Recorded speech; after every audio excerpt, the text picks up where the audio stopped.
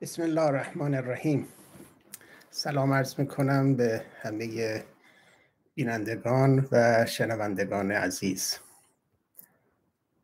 عنوان بحث امروز یا امشب من آقای تباتبایی انقلاب و نظام بخش دهم با زیر عنوان مقایسه اندیشه سیاسی تباتبایی بازرگان قسمت دوم است. امروز 25 شوال متعلق به امام جعفر صادق علیه السلام است که به اعتبار خدمات فراوان ایشان تشیع شیعه جعفری خوانده می شود ضمن عرض تسلیت امروز امیدوارم توفیق آشنایی بیشتر با معارف اهل بیت پیامبر نصیبمان شود. مدتی این مصنوی تأخیر شد. اعتراضات خونین اخیر و نیز اشتغالات این جانب عامل اصلی این تأخیر بوده است. امیدوارم گفتارهای باقی مانده با فاصله کمتری ارائه شود. این درس عمومی از سلسله مباحث تاریخ اندیشه به روش تحلیل انتقادی است و زوایای شناخت از زوایای مختلف یکی شناخت آرا آقای سید محمد حسین تباتبایی دیگری اندیشه شناسی شیعه معاصر و سوم اندیشه شناسی ایران معاصر و بالاخره چهارم اندیشه شناسی تطبیقی نکات تازه‌ای مورد بحث قرار می‌گیرد.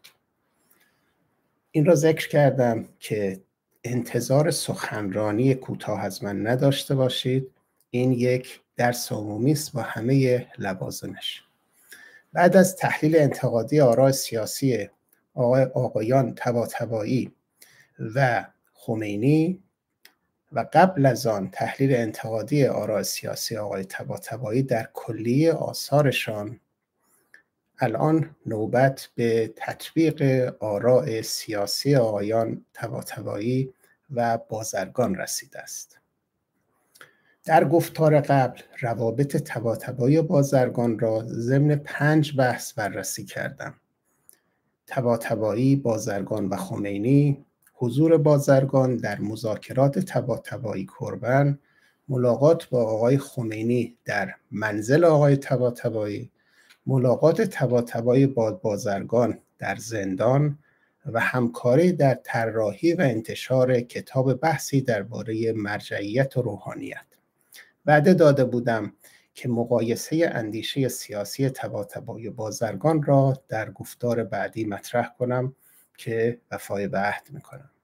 پرسش های اصلی گفتار امروز این هاست نظر روشنفکران مذهبی آن زمان از قبیل مهندس مهدی بازرگان درباره نسبت دین و سیاست چه بوده است؟ چه شباهت ها و تفاوت هایی با دیدگاه سیاسی آقای تباتبایی داشته است؟ مهندس بازرگان قبل از انقلاب از چه رابطه بین اسلام و سیاست دفاع کرده است؟ این تلقی به عنوان دیدگاه روشنفکر دینی آن دوران چه نسبتی با تلقی آقای تباتبایی از اسلام اجتماعی حکومت اسلامی و نسبت بین اسلام و سیاست دارد؟ به عبارت دیگر دیدگاه سیاسی متفکران مسلمان ایرانی مستقل از آقای خمینی در دهه چهل چه بوده است؟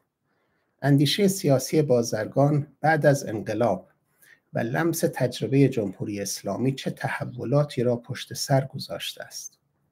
مهندس مهدی بازرگان 1286 تا 1373 در دهه چهل مهمترین روشنفکر مذهبی ایران بوده است.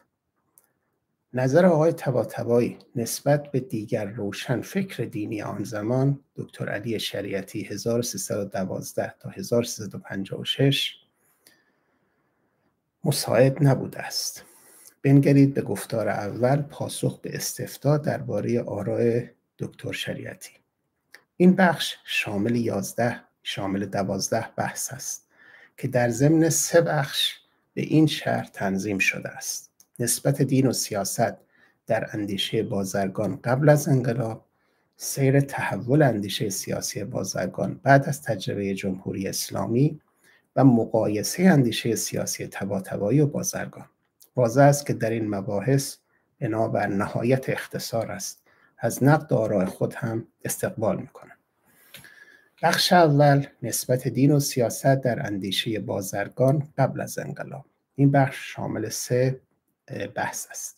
یکی مقاله مرز بین دین, دین و سیاست 1341 دیگری مقاله انتظار مردم از مراجع 1341 و سومی کتاب بعثت و ایدئولوژی 1343 خب من از هر اثری که ذکر کردم عباراتی رو عبارات کلیدی رو انتخاب کردم دردتون میرسونم بعدا بررسی کوتاهی در انتهای هر اثر می‌کنم و در انتهای هر بخش هم جنبندی.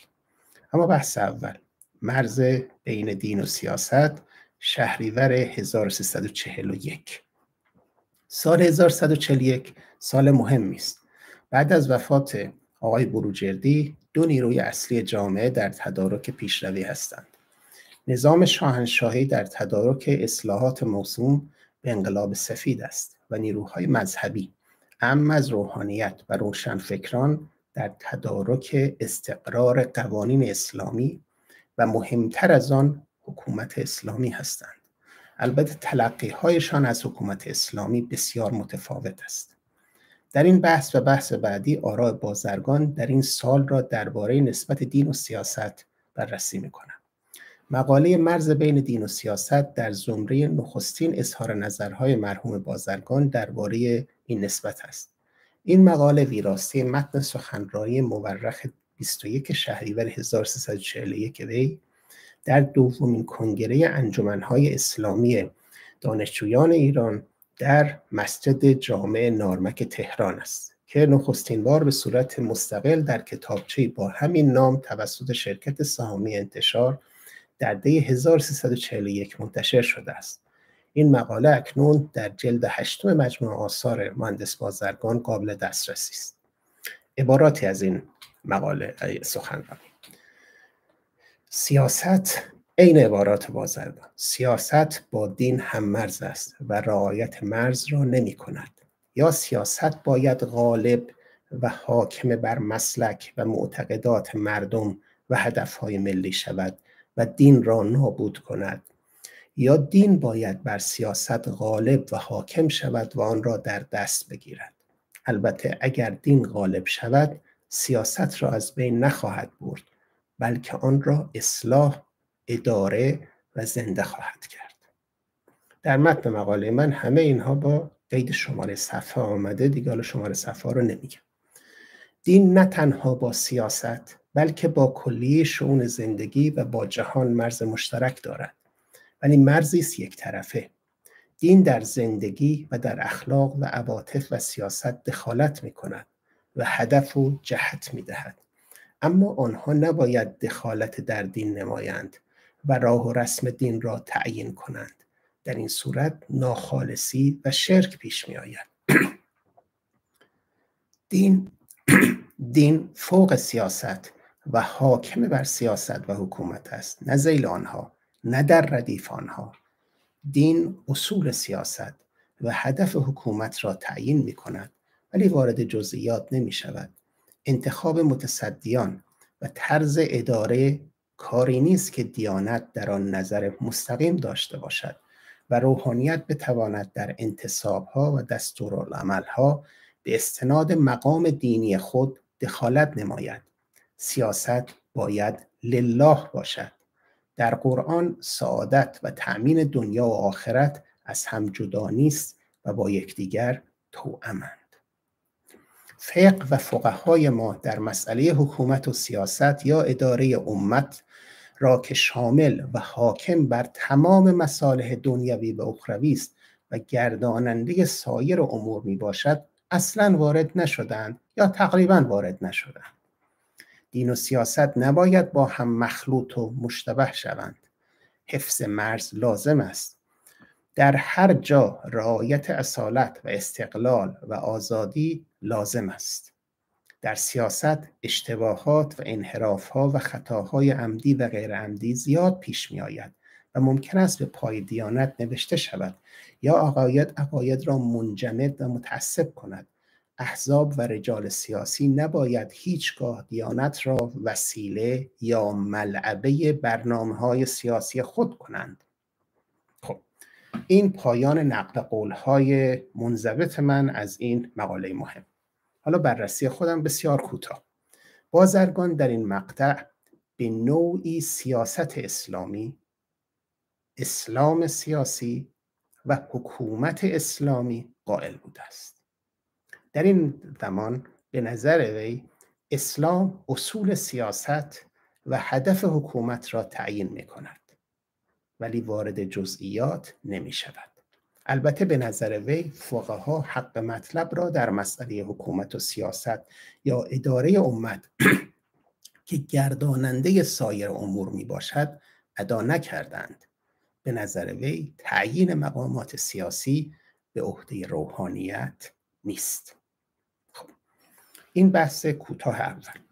اما بحث دوم مقاله انتظارات مردم از مراجع دی 1341 این مقاله نخستین بار در کتاب مهم بحثی درباره مرجعیت و روحانیت در سال 1341 منتشر شده است و اکنون در جلد هشتم مجموعه آثار مهندس بازرگان قابل دسترسی است.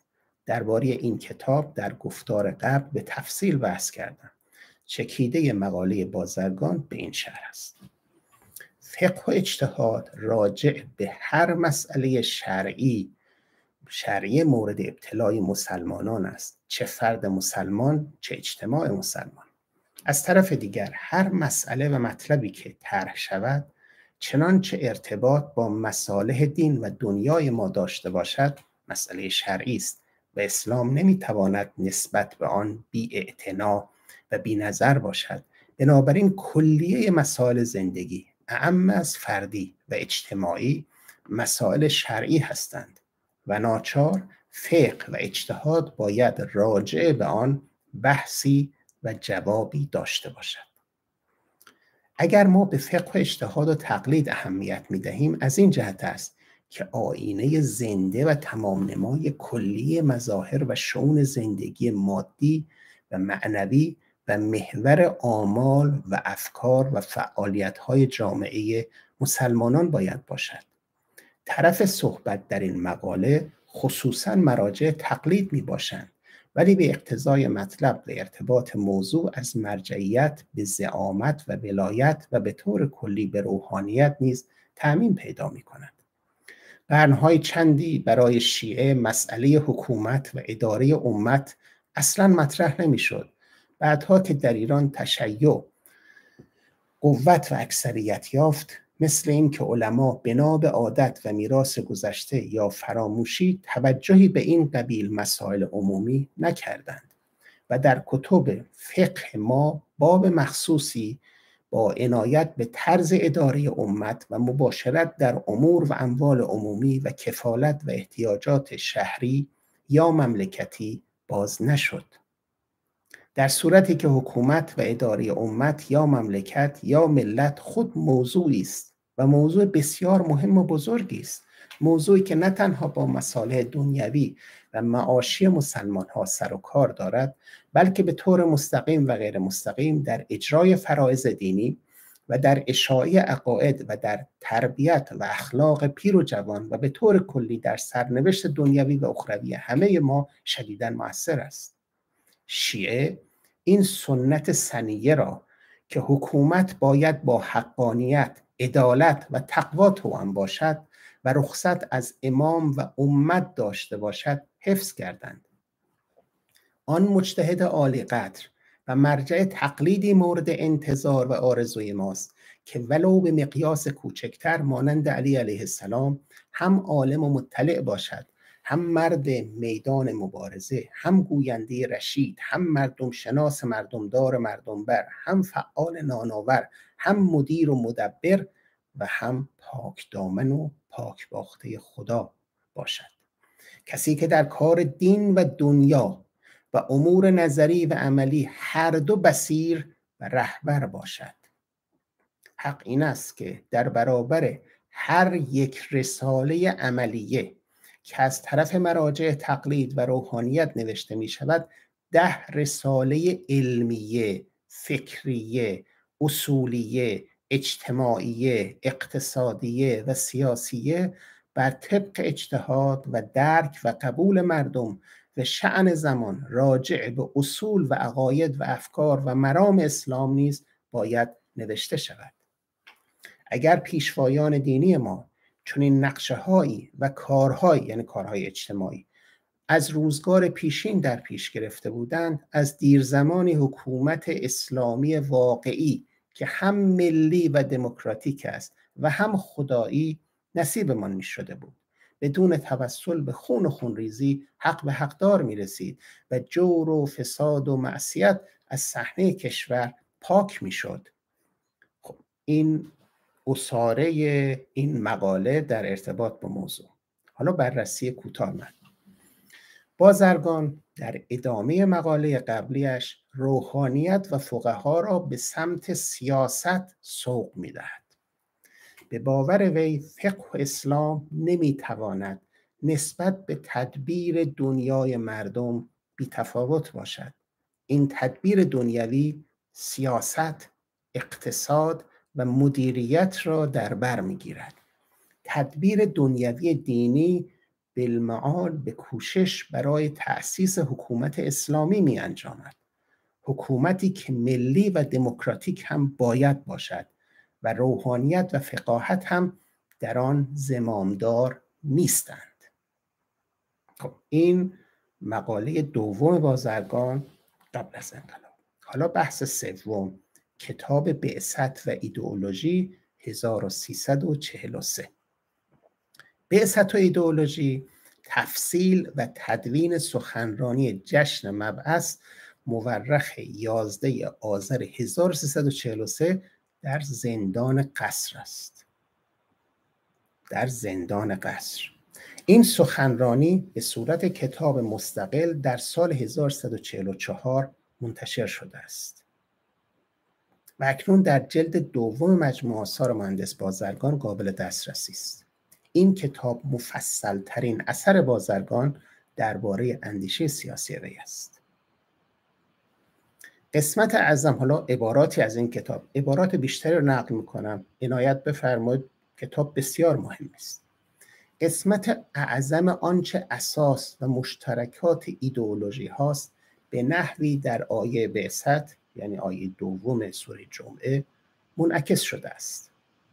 این آیه که مشابه آن در دو سه جای دیگر قرآن تکرار می شود راجع به نبوت پیامبر خاتم و رسالت او بر طبق دعای حضرت ابراهیم است. رسالتی که از زبان ابراهیم با امامت یعنی پیشوایی از همه جهت و از جمله حکومت و اداره امت همراه بوده است. از آن که بشر متوجه و مستشعر شود که حکومت و سیاست بدون ایدئولوژی یا اعتقاد فکری و ایمان و عشق قلبی معنا ندارد اسلام حکومت عقیده و ایمان را توأم با امامت افتتاح و اجرا نمود. ببینید این عبارت فوق مهمه. تلقی بازرگان سال 1343 که به خاطر او به زندان رفته اینه که برای تحقق رسالت در اسلام و امامت در تشیع باید حکومت را در دست گرفت. صاحب حکومت و برگزیننده زمامدار خود مردم هستند و حکومت اسلامی یک حکومت دموکراسی اعلا یا حکومت عامه است. اینو داشته باشید بعد خود ایشون یه پاورقی هم بر همین جای سخن خودش زده. و عمل دولت نیز چیزی جز ولایت یعنی سرپرستی و تولیت در اموال و اموری که مردم به صورت امانت در اختیار او گذاشتن نیست. حالا پاورقی خود بازرگان. بعضی از علما و نویسندگان جدید دینی استنکاف و حساسیت خاصی درباره کلمه دموکراسی نشان دادند و اسلام را مخالف آن دانستند. احتمالا آقای تبا تبایی باشه. در همون مقاله که تو همین کتاب بررسی مسئله مرجعیت و روحانیت ها آمده. ولی اسم نبرده اینجا. از دقت در بیان و توضیحاتشان معلوم می شود که قضاوت آقایان ناشی از عدم اطلاع یا سوء تدبیر است سوء تعبیر است. مثلا مظاهر ظلم و فساد دولت ها و ملت های غربی را ملازم و به معنای دموکراسی گرفتند و دموکراسی را آزادی مطلق فرد شناختند یا تصور کردند که حکومت مردم و رأی اکثریت در جمیع شعون و موارد بوده و اتخاذ و اعلام قوانین اصولی اثبات حقایق نیز از طریق مراجعه به آراء عمومی و تصویب مجالس صورت می‌گیرد. در صورتی که هر کشور دموکراسی دارای یک ایدئولوژی و یک قانون اساسی و اصول ثابتی است که از طریق انقلاب یا اعتقاد مانند مذاهب قبول و اجرا شده است و اداره حکومت و انتخاب مجلس و رأیگیری ها بر پایه و در سایه آن انجام می‌گیرد. هیچگاه قبول یک حقیقت فلسفی یا علمی و حتی قضایی و سیاسی موکول به رأی مردم نیست و به صاحبان صلاحیت یعنی علمای همون رشته ها مراجعه می شود. آنچه واگذار به آرا اکثریت و عموم می شود اداره کشور به لحاظ متصدیان درجه اول دریافت وجوه دولتی و مخصوصا مصرف آنها در معاش و معارف و امران تصمیم به جنگ و صلح عقد قراردادها با همسایگان و مانند آنهاست. خب ادامه سخن خود بازرگان در متن. حکومت عامه وقتی تحقق مییابد که همکاری و مراقبت مستمر باشد. در اسلام انتصاب و عزل امام یا زمامدار کل نیز باید با مشورت و انتخاب مردم صورت بگیرد. بنابر نصوص سریح و بیانات مکرر حضرت ختمی مرتبت صلی الله علیه و آله و چهار تن چهار تن دیگر آل عبا علیه السلام امامت به معنای حکومت عالیه مسلمین متعلق و مربوط به خود مردم است. و با مشورت و انتخاب آنها تعیین می گردد و با بیعتشان واجب الاطاعه و یک فریزه عبادی می شود حکومت اسلامی بلا تردید حکومت علم عدل و صلاحیت است. ولی انتخاب و اختیار با خود مردم و عموم مردم اصولا می باشد اسلام درباره چگونگی اجتماع و مشاوره مردم و طرز انتخاب امام مانند موارد دیگر وارد جزئیات و شکل کار نشده است. مسلحت هم نبوده است بشود. اجرایات و شکل حکومت و اداره اجتماع حالت متغیری داشته. بر حسب ممکنات و مقتضیات تابع زمان و مکان است. به عهده عرف می باشد در ایدئولوژی اسلامی هم لزومی ندارد بیش از اصول چیز را تعیین نماییم امر مسلم این است که اداره اجتماع و امر حکومت باید با مشارکت و مشورت عموم اعم از طرفدار و غیر طرفدار و با موافقت اکثریت باشد. زمامدار خواه رئیس جمهور پادشاه صدر هیئت رئیسه یا صدر اعظم صدر اعظم همه کاره. اگر بدون مشورت و مخصوصا بدون رضایت اکثریت باشد باطل است. اصل مشورت به هیچ وجه ناقض اصل ولایت و مسئولیت نیست. والی حق ندارد در اتقاس کلی تصمیم ها و در صدور احکام یا عزل نصب ها همه جا معطل مشورت و مردد و متوقف بماند. وظیفه اصلی و اولیه او در برابر خدا و مردم اداره و اجرای امور و جلوگیری از ظلم و اصراف و فساد است. آنجا که حکم خدا و تکلیف شرعی و حکومتی معین است آیه فستقم کما امرت بالای سر اوست. در آنجا که لازم به مشاوره است و از نظر مشورت معلوم شده است دستور فیض آزم توکل علی الله را باید نسب العین قرار دهد. اصل مشورت و اخذ آرا درباره جزئیات و اجرایات و مخصوصا انتصابات وارد نیست.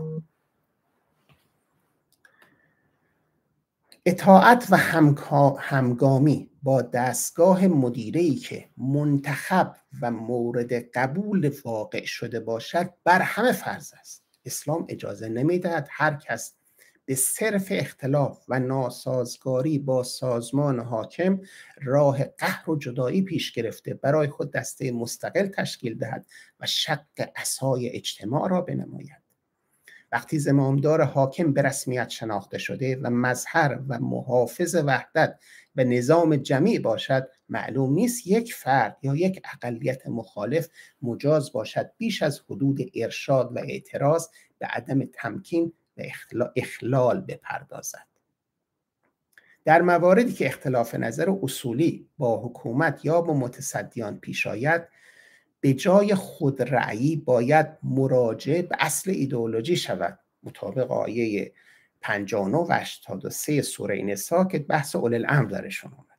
چه اشکال دارد که در یک دولت و اجتماع اسلامی حرفای بازرگان ها یک انجمن حل اختلاف و رفع نزاع یا هیئت عالی روحانی متشکل از علمای عادل مورد وسوق و مطلع در امور دین و دنیا که قهرن و نهایتا منتخب مستقیم یا غیر مستقیم مردم خواهند بود به طور دائم وجود داشته باشد. که هر زمان مسائل اختلافی مهم ایدئولوژی پیش آمده یا ما بین ملت و حکومت و حتی ما بین مقامات مختلف دولت مثلا قضایی و اجرایی در تشخیص و تطبیق احکام تضادی نظری رخ دهد آن هیئت. بر اساس قرآن و سنت و عقل رسیدگی و صدور رأی نماید. چون این هیئتی حتی حق وتو و نسخ قوانین مصوب مجلس را هم خواهد داشت. بدیهی است که تا تعیین تکلیف موارد اختلاف و نزاع امر حکومت و والی که منتخب و منصوب است یا هیئت رئیسه جمعیت نافذ خواهد بود و الا مسئولیت و مأموریت منتفی شده و هرج و مرج و گسیختگی جای آن را خواهد گرفت. اگر حکومت منتخب مردم عدول از حق و عدالت کرد یا از اصل منتخب صحیح و از یا از اصل منتخب منتخب صحیح و مرزی جمع نبود و تن به حکم خدا و رسول هم نداد اولا وظیفه امر به معروف و نهی از منکر هیچگاه تعطیل بردار نیست. کلی افراد ملزم به نصیحت دلالت ملامت و در صورت امکان به راه درست آوردن متصدیان هستند و این خود جهاد بزرگی است. ثانیا هر کس می تواند و می باید از اطاعت آمرین در آنجا که منافات آشکار با حکم خدا دارد و از تعهدات بیعت خارج شده است سرپیچی نماید. سالسا اگر نصیحت و دلالت و مشورت و ملامت نتیجه نداد و کار به مخالفت و مزاحمت انتقاد کنندگان و به خصومت و شقاوت کشید و امور جامعه به فساد فساد و تباهی گروید هم قیام علیه حاکمیت فاسق جائر بنا به دعوت و درخواست مردم مثل عمل حضرت سید الشهدا علیه السلام مجاز و وظیفه می شود و هم انقلاب علیه آن پس از آن مشورت عمومی همانطور که علی علیه السلام در پیام به معاویه اشاری فرموده بود لازم خواهد بود. اختیارات حکومت اسلامی از دید مهندس بازرگان در سال 1343 این هاست. زمامدار عالم عادل منتخب, منتخب مردم که در اصطلاح شهر امام نامیده می شود و دستگاه اجرایی و قضایی و فتوایی وابسته به او به او حکومت یا دولت ملی اسلامی را تشکیل می دهد و به نمایندگی از طرف خدا که صاحب اصلی اموال است و رسول اختیارات وسیعی در دادن و گرفتن املاک و اموال و در وضع خراج ها و مالیات ها و در تعیین حقوق و حدود دارند. این بود مجموعه آنچه با معلومات ناقص نگارند به معلومات ناقص نگارنده به نظر می آمد از روی قرآن و سنت اسلام خطوط اصلی ایدئولوژی و موازین اجتماعی را استخراج کرد. پایان تلخیص من از این کار مهم مرحوم مهندس بازرگان. خب حالا بررسی من بررسی کوتاه. بازرگان در این کتاب که تا زمان نگارش مفصل ترین کار او در زمینه بحث دین و سیاست است بار دیگر از اندیشه حکومت اسلامی ملی دموکراتیک دفاع می کند تاکید بیشتری بر جنبه دموکراتیک حکومت اسلامی می کند و میکوشد متدینان را با دموکراسی آشنا آشتی دهد. او همچنان رؤوس سیاست ورزی خود را مستقیما از کتاب و سنت استخراج می کند و بر این باور پا می فشارد که مسلمانان باید اصول سیاست ورزی خود را از موازین اسلامی اخذ کنند. اما جزئیات سیاسی که امور متغیر است را از دانش و تجربه بشری استفاده نمایند. برای مراجعه به رأی مردم قلم رو تعیین می کند و حوزه که زمامدار منتخب باید به تشخیص خود عمل کند را نیز مشخص می نماید.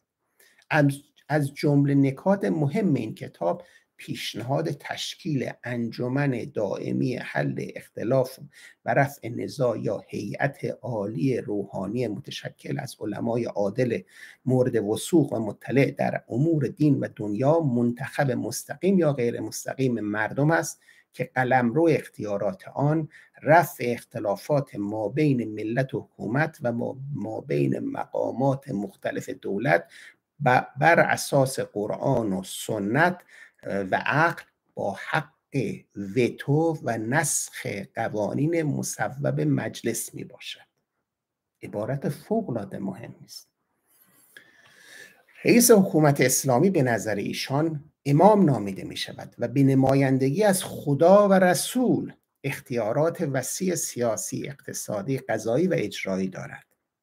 اگر امام مسلمین از وظایف اسلامی تخطی کرد مطابق موازین اسلامی با او برخورد می شود خب، این پایان بررسی من از این کتاب سوم ایشون قبل از انقلاب. حالا جنبندی بخش اول یعنی در یک کلام بازرگان قبل از انقلاب چه نسبتی بین دین و سیاست می‌دیده؟ مختصر و مفید.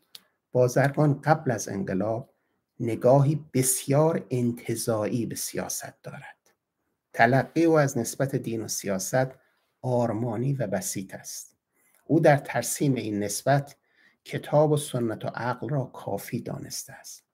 از یک سو مطلقا ارجای به مباحث فقهی مسلمانان یا شیعیان نداشته است. از سوی دیگر و از آن مهمتر جای پایی از حزم علم سیاست و تجربه بشری در این نسبت سنجی دیده نمی شود.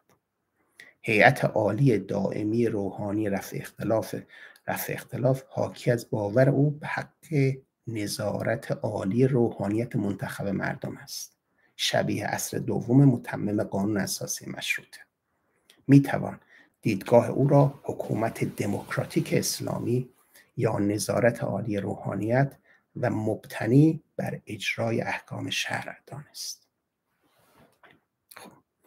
فکر می‌کنم این اطلاع از این امور برای اینکه کجا رو اشتباه کردیم بسیار لازم باشه. یک نفر اشتباه نکرده. یادمون باشه. حالا بخش دوم. بخش دوم شنیدنی تره. سیر تحول اندیشه سیاسی بازرگان بعد از تجربه جمهوری اسلامی. بازرگان بعد از تجربه موقت تجربه دولت موقت. نمایندگی دوره اول مجلس شورای اسلامی و محدودیت های دهه 60 به درک تازه از نسبت دین و سیاست می‌رسد. سیر تحول اندیشه سیاسی بازرگان بعد از تجربه جمهوری اسلامی را در پنج بحث به این شهر دنبال می سخنرانی بعثت و دولت 1359 سخنرانی, سخنرانی ناگفته های بعثت 1364 کتاب تفصیل و تحلیل ولایت مطلقه فقیه 1367 سخنرانی مسلمین و حکومت اسلامی 1369 و کتاب آخرت و خدا هدف رسالت هدف بعثت انبیا 1371 خب این هم بریم سراغ جزئیات. بحث چهارم من سخنرانی بعثت و دولت هست این سخنرانی تدوین و تفصیل یک سخنرانی در جشن مبعث انجمن اسلامی مهندسین در حسینی ارشاد مورخ 21 خرداد 1159 ببینید روش من اینه که هیچ اندیشه ای رو جدای از تاریخش نمیشه بررسی کرد. تاریخ به ما زمینه رو میده. منعزل نه یه عبارت رو بگیریم بگیم مثلا این متفکر اینو می‌گفته یا این اونو می‌گفته. کی اینو گفته؟ در چه شرایطی اینو گفته؟ حالا بازرگان در شرایط جدید ببینیم چی گفته. خب این مطلب توی جلد 17 هم مجموعه آثار بازرگان آمده. عبارت خود ایشون. نکته جالب این سخنرانی اینه که یه خلاصه از آراء خودش قبل از انقلاب به روایت خودش آورده. نوشته در سال 1143 همون چیزی که براتون خوندم و گفتم خلاصش رو بحث روی ایدئولوژی و سیستم حکومتی و نظام اجتماعی اسلام شد.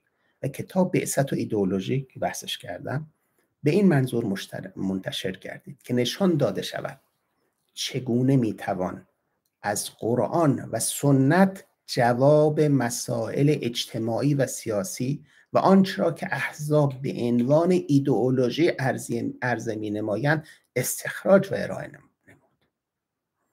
در آن سال عده از دوستان نهضت آزادی نهضت آزادی ایران در زندان بودیم. سوال و بحثی که مطرح شده بود یادآور حالت کسی یا کسانی بود که می‌گفتند به ده راهش نمی‌دهند سراغ خانه کت خدا را می‌گرفت. ما و عده زیادی از مبارزین ملی و چپی را به زندان انداخته بودند که چرا صحبت از قانون و سیاست حکومت کردیم و میبایست تا ابد محروم از فعالیت سیاسی و برکنار از حکومت دولت باشیم. این نوع مباحث نه تنها ممنوع و خطرناک بود بلکه تازگی داشت. یعنی تعداد اندکی از نویسندگان و علما بیش از آن یا در سالهای نزدیک نزدیک بعد از آن ایدئولوژی یا فلسفه سیاسی و مسائل حکومتی و اجتماعی را مطرح می کردن. برای تاریخ نگاری اندیشه حالا این عبارات خود بازرگان است با اطلاعات تاریخی که من توی کروشه آوردم ایشون اسم چند نفر رو ذکر می‌کنه که در اون زمان یعنی حوالی 1140 343 یعنی چهار سال پنج سال قبل از اینکه آقای خمینی بحث ولایت فقیهش رو به شکل عمومی مطرح بکنه اینا درباره حکومت اسلامی کتاب منتشر کردن.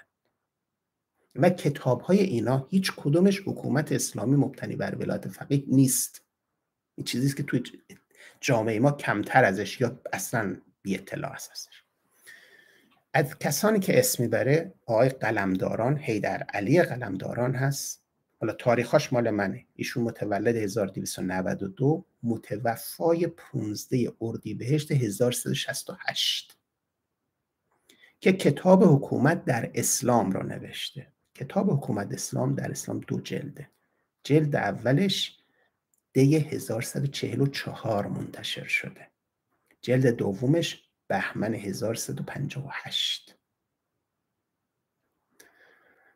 در قوم ایشون معلم بود معلم آموزش پرورش بود. یا یه علامه نوری. خب این همون مرحوم آقای یحیی نوری است. متولد 1111 متوفای 1186 ایشون علاوه بر علوم حوزوی در دانشگاه دانشکده الهیات دانشگاه تهران هم دکترای الهیات گرفته. تز دکترای ایشون عنوانش از سیستم حکومت اسلامی. کی دفاع کرده؟ 1342 خب و مخصوصا مرحوم ناینی میرزای ناینی بزرگ ایشون به سال شمسی 1239 1115 از دنیا رفتن مرجع بزرگ تقلیل که در انقلاب مشروطیت کتاب بسیار ارزنده تنبیه الامه و تنزیه المله. این کتاب 1288 شمسی منتشر شده. تدوین کرده 1334 هم مرحوم طالقانی کتاب رو به عنوان حکومت از نظر اسلام آمده با پاورقه خودش منتشر کرد. نوشته آقای بازرگان اینها از نوادر و مستثنیات به شمار می رفتن.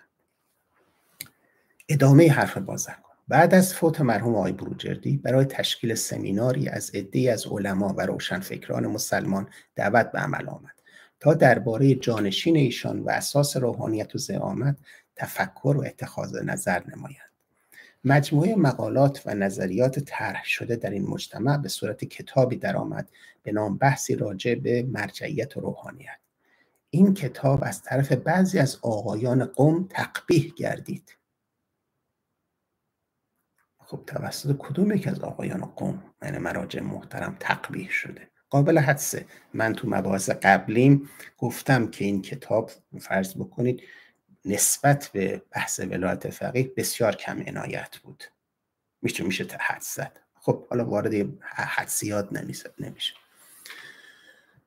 خب تقبیح کردید ولی بعدا مقبولیت وسیع یافت. حتی در مجله بین المللی استدیا اسلامیکا که به صورت علمی و ادبی سطح بالا مطالعات اسلامی می نماید مقاله به قلم یکی از محققین انگلیسی درج گردید که به این کتاب اختصاص یافته و پس از ذکر مقدماتی راجع به آنچه زمامداران و دانشمندان تسنن در زمینه حکومت و اداره امت کرده و گفتند ارج خاصی به مقالات کتاب داده و اعلام کرده که برای اولین بار است که در دنیای تشیع مسئله حکومت و زعامت مطرح گردیده است. خب این مقاله رو من پیدا کردم.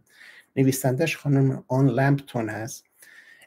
عنوان مقاله است A Reconstruction of the Position of مرجع التقلید and the Religious Institution.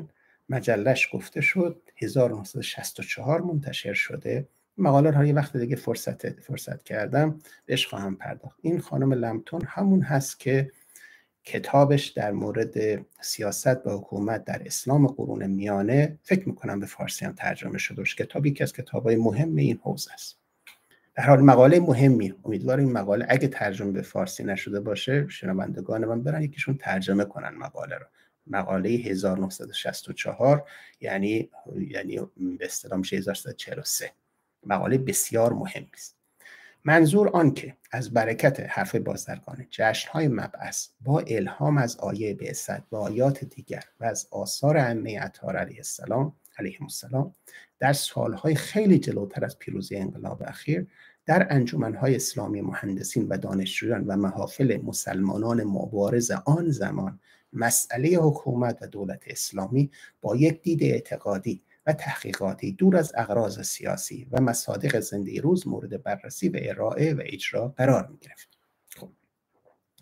حالا توجه بکنید بازرگان سال بعد از انقلاب داره باز دیدگاه خودش رو در مورد حکومت اسلامی میگه. دیگه قبل از انقلاب نیست. بعد از انقلاب. حکومت اسلامی در ایدئولوژی الهی چگونه حکومتی است؟ مطابق با سنت سالهای گذشته برای جواب دادن به این سال از آیه بعثت و البته آیات دیگر قرآن و از سنت رسول اکرم و مولای متقیان استمداد می‌شد و فرض بر این بود که حکومت یا امامت می تواند انعکاسی از بعثت و رسالت پیامبر و از جهات قابل انطباق با آن باشد. فرض فوق صحیح است. یعنی هنوز هم ایشون تایید می‌کنه در این سال. زیرا که در مورد حضرت ابراهیم علیه السلام سرسلسله انبیای صاحب کتاب و امت که پیروان او حاکم بر دنیای معاصر هستند صریحا فرمان انی جعلک للناس اماما از مقام ربوبیت خداوند صادر شده است و عمل حضرت رسول صلی الله علیه و آله و حضرت امیر علیه السلام رهبری و زمامداری یا امامت و ولایت بوده است و در مکتب تشیع دین و سیاست از یکدیگر تفکیک پذیر نیستند. بر این مبنا حالا دو تا عبارت بسیار مهم ذکر می‌خوام بکنم. این رو بیشتر دقت بفرمایید. بازرگان میگه که من نگاهم رو به حکومت اسلامی از کجا بیرون بیرون کشیدم؟ کلمه به کلمه میگه. میگه به اعتبار فل امیین و منهم در آیه بعثت آیه دو سوره جمعه استنباط کرده بودیم که نظام حکومتی الهی یا اسلامی یک نظام مردمی و خلقی یا حکومت مردم بر مردم است. از کجا؟ من فل امیین منهم. به دلیل یوزکیهم در همین آیه حکومت تقوا و مبتنی بر اخلاق و صلاحیت است. به مصداق یعلمهم الکتاب و الحکمه و اشاره و انکانو من قبل لفی ضلال مبین که در آخر آیه آمده حکومتی است ارشادی نه اجباری به حکم لا اکراه فدین و آیات دیگر حکومتی است آزاد و غیر اجباری و غیر تحمیلی به اتکای کلمه بعفه و ولدی بعفه فی الامین رسولا توأم با فی الامیین و منهم حکومتی است خودجوش یا انتخابی. با تعصیب آیه شاورهم فی الامر و امرهم شورا بینهم حکومتی است شورایی. و بالاخره به حکم هولوی که در صدر آیه آمده است و نشأت از وحی خدا می‌گیرد. و آیه ما قبل آیه اول سوره جمعه که یا لا حکم الا لله که مورد تایید مولا علیه السلام است اصول و اساس و قوانین بنیادی حکومت اسلامی نمی‌تواند از غیر خدا و از غیر طریق رسول قرآن باشد. پس حکومتی الهی است. نحوه اینه که بازرگان چجوری به اینا رسته. پس به طور خلاصه حکومت مورد نظر ایشون اینه. خودش عبارت خودش. حکومتی است مردمی ملی ارشادی آزاد انتخابی شورایی و الهی ضمن آن که حائز امتیازات حکومت های خلقی لیبرال و دموکراتیک است ولی منطبق بر هیچ یک از آنها نیست و شعار نه شرقی نه غربی جمهوری اسلامی درباره آن صدق می کند دوباره توضیح داده که من نوشتم دیگه توی متن شما خواهید خوند. بعد میاد میگه حال که تجربه دوران انقلاب مسائل تازه ای را در برابرمان قرار داده معلوم می شود که های گذشته با توصیفی که از اصول حکومت اسلامی می کردیم ناقص و نارسا بوده. به آیات بعثت برگردیم. حالا من توضیحات سیاسیشو نمیدم. اونجا نوشته می‌تونید به کتاب خودش مراجعه بکنید. یکی یکی گفته که چی پیش اومد در اون یکی دو سال اول انقلاب. بعد دو تا نمودار داره که این یه مثلث کشیده رأس بالاش دولت رأس سمت راستش فرد رأس سمت چپش ملت وسطش هم خداست که هر ستا به خدا مربوطن. اسمش هم گذاشته نظام خدا مرکزی تیوسنتریک تیوسنتریک یعنی این نظام نه شرقی است نه غربی نه استبدادی نه فاشیستی نه اشرافی آریستوکراتیک نه روحانی تیوکراتیک یعنی نه سوسیالیستی نه کمونیستی نه ناسیونالیستی نه لیبرال دموکراسی. همانطور که در نظر مؤمن معال و مال و اولاد امانت های خدا هستند حکومت و قدرت چنین نظامی در نظر مسئولین و متصدیان ودایع یا امانت های خالق برای خدمت گذاری به خلق هستند. این حرفا خود تو حرف آقای خمینی هم می‌تونیم پیدا کنیم. بعد نظام اسلامی دوباره یه نمودار دیگه کشیده گفته که تیو دیرکشن نظام خداسویی است. یعنی همه جهتش به سمت خداست. حالا من این نموداراش رو توی مقالم خواهم گذاشت که اونا مشاهده بفرمایید که این همه اینها جهتشون به سمت خداست همه هم پر از خداست. یعنی دقیقا اینی که همه جا پر از خدا هست و لذا باید هر جا که رو کنی تو خدا رو ببینی. خب حرفاش درسته. منتها توضیح سیاست چطور اینا قابله تطبیق به من. خب اینو بگذاریم. بررسی بنده. بررسی کوتاه من در زیل این کتاب. زیل این مقاله. گفتم این سخنرانی اولا بررسی آرا سیاسی قبل از انقلاب خصوصا بعثت و ایدئولوژی از زبان خود بازرگان است. و از این حیث مهم است. ثانیا اون تصریح می کند که در کار استخراج ایدئولوژی سیستم حکومتی و نظام اجتماعی اسلام از کتاب و سنت بوده است. تلقی بازرگان در آن زمان تا اواسط دهه شست این بوده که حکومت و سیاست جزء بافت اسلام و رسالت و امامت است و او در آیات بعثت اجزای حکومت اسلامی پیدا می کرده است. حکومت اسلامی ملی دموکراتیک به نظر وی نظام سیاسی در اسلام خدا مرکز و خدا سو و نه شرقی نه غربی است یکی از منابع او در بعثت و ایدئولوژی کتاب حکومت در اسلام حیدر علی قلمداران بوده است. خودش گفته در پاورقه اونجا هم گفته. قلمداران و یحیی نوری از جمله مطرح کنندگان نظریه نظریه حکومت اسلامی منهای ولایت فقیه در دهه چهل بودند. اینکه شما ببینید از نوری ما تا 17 شهریور فراوان میخوندیم و میشنیدیم. بعد از اون یک دفعه کجا رفت؟ چرا مطرح نشد؟ به ولایت فقیه اعتقاد نداشت. همان نظریه جالب اینجاست. حالا چه ربطی به بحث من پیدا کنه همان نظریه که آقای تباتبایی در اواسط دهه سی در تفسیر المیزان و در اوایل دهه چهل در مقاله مرجع آمد و مرجعیت در اسلام تو همین کتاب بحثی راجع به مرجعیت روحانیت مطرح کرده. من انشالله این نکته فوق العاده مهمی است که به برکت این گفتارها بهش رسیدم. یعنی ما دو روی کرد به حکومت اسلامی داریم. روی کردی که مقدم بوده روی کرد در نام آقای تباتبایی است. که مهندس بازرگان همین قلمداران همین آقای نوری یحیی نوری اینا از پیروان این نظریه هستند. و روی کرد دوم حکومت اسلامی بر اساس ولایت فقیه که ساخته و پرداخته آقای خمینی هست و اون خب جداگانه ما در موردش من زیاد نوشتم و گفتم. اما این تلقی از حکومت اسلامی یک تلقی متفاوتی است که این چهره از آقای تبا تبایی رو کمتر تو جامعه ما مطرح کردن. و برای همین اینقدر روی این عرایز منی گفتارها حساس هستن. الان اومده این مرکز اسناد انقلاب اسلامی یک کتاب علیه همین گفتارها منتشر کرده که در انتابش اشاره خواهم کرد. خب این در مورد خانم لمتون هم گفتم و مقالش بگذاریم. حالا بریم سراغ سخنرانی مهم ناگفته های بعثت 1164 بازرگان آدم بزلگویی هم بوده. میگه تا حالا ما همش رفتیم گفتیم که توی آیه بعثت و یا آیات بعثت چی پیدا میشه؟ دیگه چند تامون خالی شد. حالا بیایم بگیم چی نگفته. اسمش گفته ناگفتای بعثت اتفاقا از همین ناگفتای بعثت ایشون یک جرقه به ذهنش می‌زنه که اون حرف نهایی رو خواهد زد. حالا گوش کنید این تدوین و تفصیل سخنرانی در جشن مبعث انجمن اسلامی مهندسین 29 فروردین 1164 در جلد 26 مجموع آثار در عنوان زیر عنوانش هم از بازیابی ها بخش دوم اونجا اومد. اهمیت این سخنرانی از آن روز که نخستین نشانه های تحول در اندیشه سیاسی بازرگان در این سخنرانی بروز می کند چرا که او به جای اینکه خود را در استخراج فلسفه سیاسی از الفاظ آیات محدود کند شخصا اندیشیده است و از ناگفته های آیات به نتایج مهمی هم رسیده است.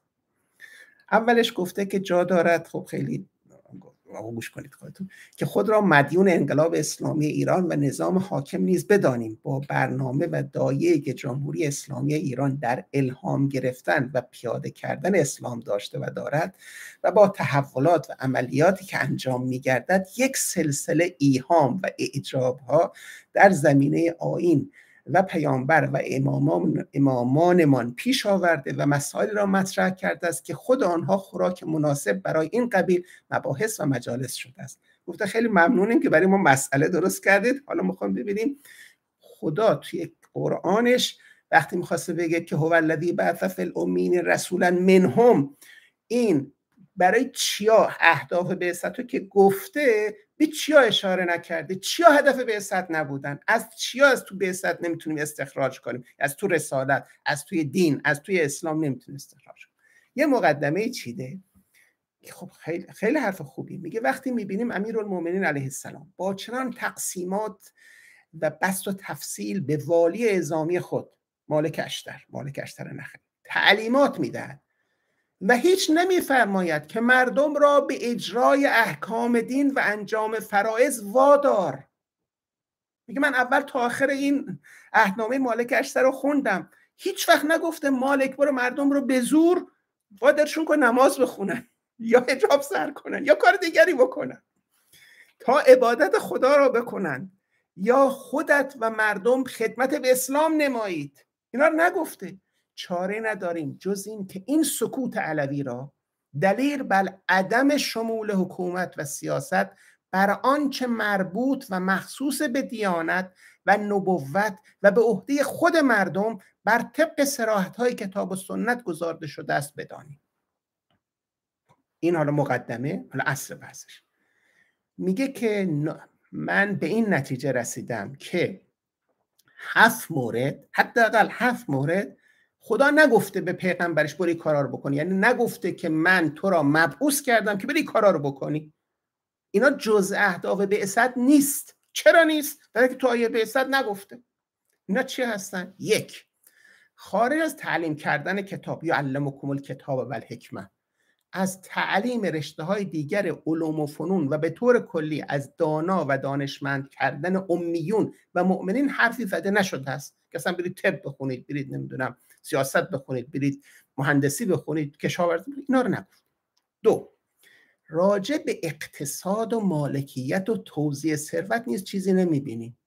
گفته نشده است که رسول باید مسائل مالی و مشکلات اقتصادی امت را سر و سامان دهد و یک جامعه توحیدی بی طبقه و بی اختلاف بسازد.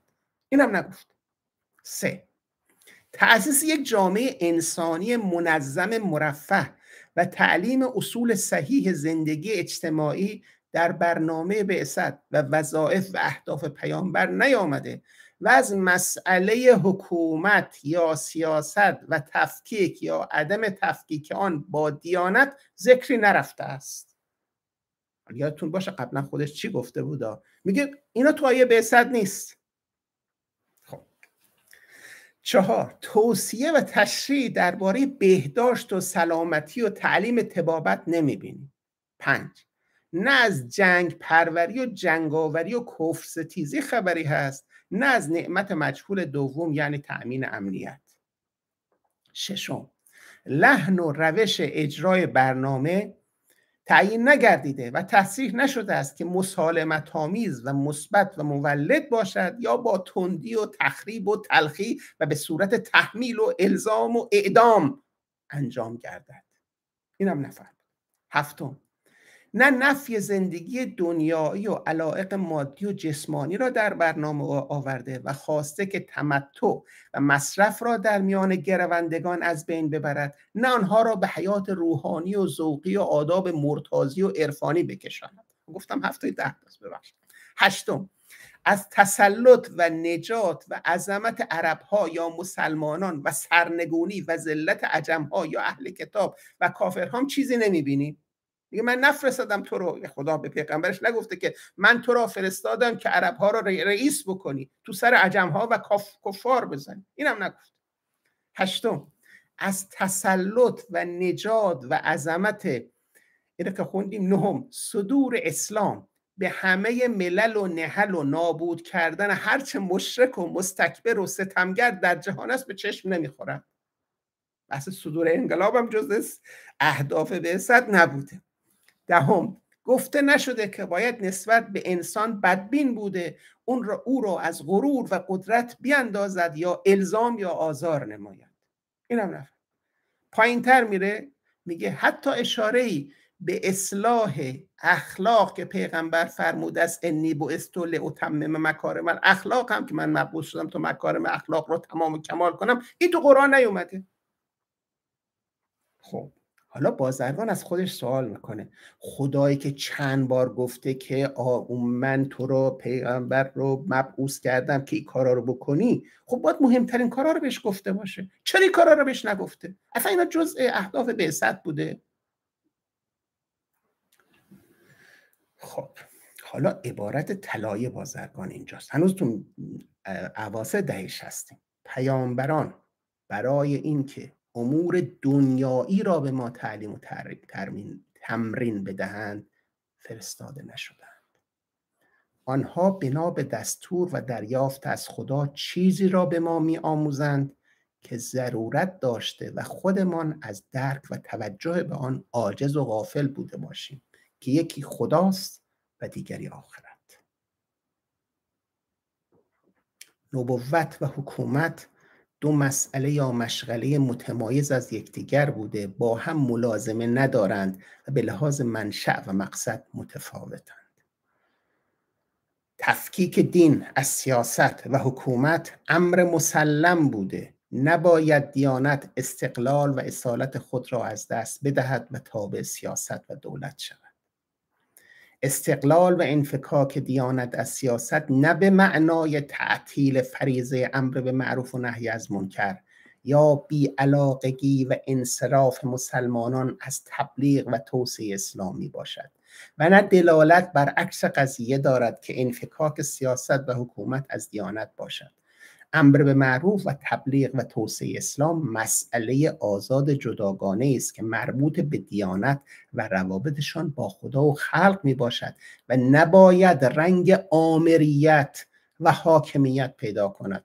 اما عکس قضیه صحیح است. یعنی حکومت و دیانت منفک از دیانت نه حکومت و دیانت حکومت و سیاست. منفک از دیانت نبوده باید تبعیت از آن بنماید. ولی این تبعیت دلالتی است که به صورت بند یا ماده ای از برنامه بعثت نیامده است و دستور مستقیم دین نمی باشد بلکه نتیجه و فرعی است بر و نتیجه و فرعی است بر خلافت در زمین یا حاکمیت ملی با توجه به دستور و شاورهم فی الامر یا امرهم شورا بینهم قوانین و نظامات جامعه اسلامی باید با رضایت و رأی مردم یا اکثریت مردم باشد.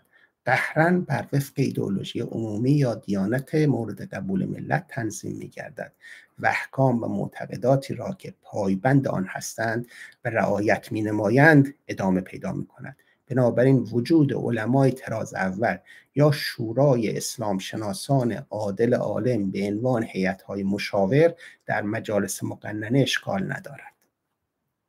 ادامه میده. ولایت را نمی‌توان مترادف با حکومت و امارت گرفت که از بالا یا پایین اعمال و اذان اطاعت می شود پایین اعمال اذان اطاعت می شود بلکه تمکین و تمایل و توحیدی است که از روی ایمان و عشق و اتحاد اتخاذ می گردد ببخشید ولایت را نمی‌توان مترادف با حکومت و امارت گرفت که از بالا اعمال و از آن اطاعت می شود بلکه تمکین و تمایل و توحیدی است که از روی ایمان و عشق و اتحاد اتخاذ می گردد و حالت سرسپردگی و دلبستگی و همبستگی دارد. دین و سیاست در اسلام غیر قابل تفکیک بوده و حکومت اسلامی مردمی همان حکومت خداست. با این تفاوت و توجه که چنین حکومتی بدون آنکه واسط و والی و قیمی به نام خلیفه یا روحانیت در آن وجود داشته باشد حکومت ایمان است و صاحب و زامن آن باز خود, خود مردمند. حکومت الله مساوی است با حکومت مردم. نوع و کیفیت حکومت و دولت و شاید ضرورت و اصالت مذهبیان یکی از ناگفته های بعثت و رسالت می باشد دوباره برنامه اصلی و رسالت مشترک پیامبران به طور خلاصه دو چیز بوده است.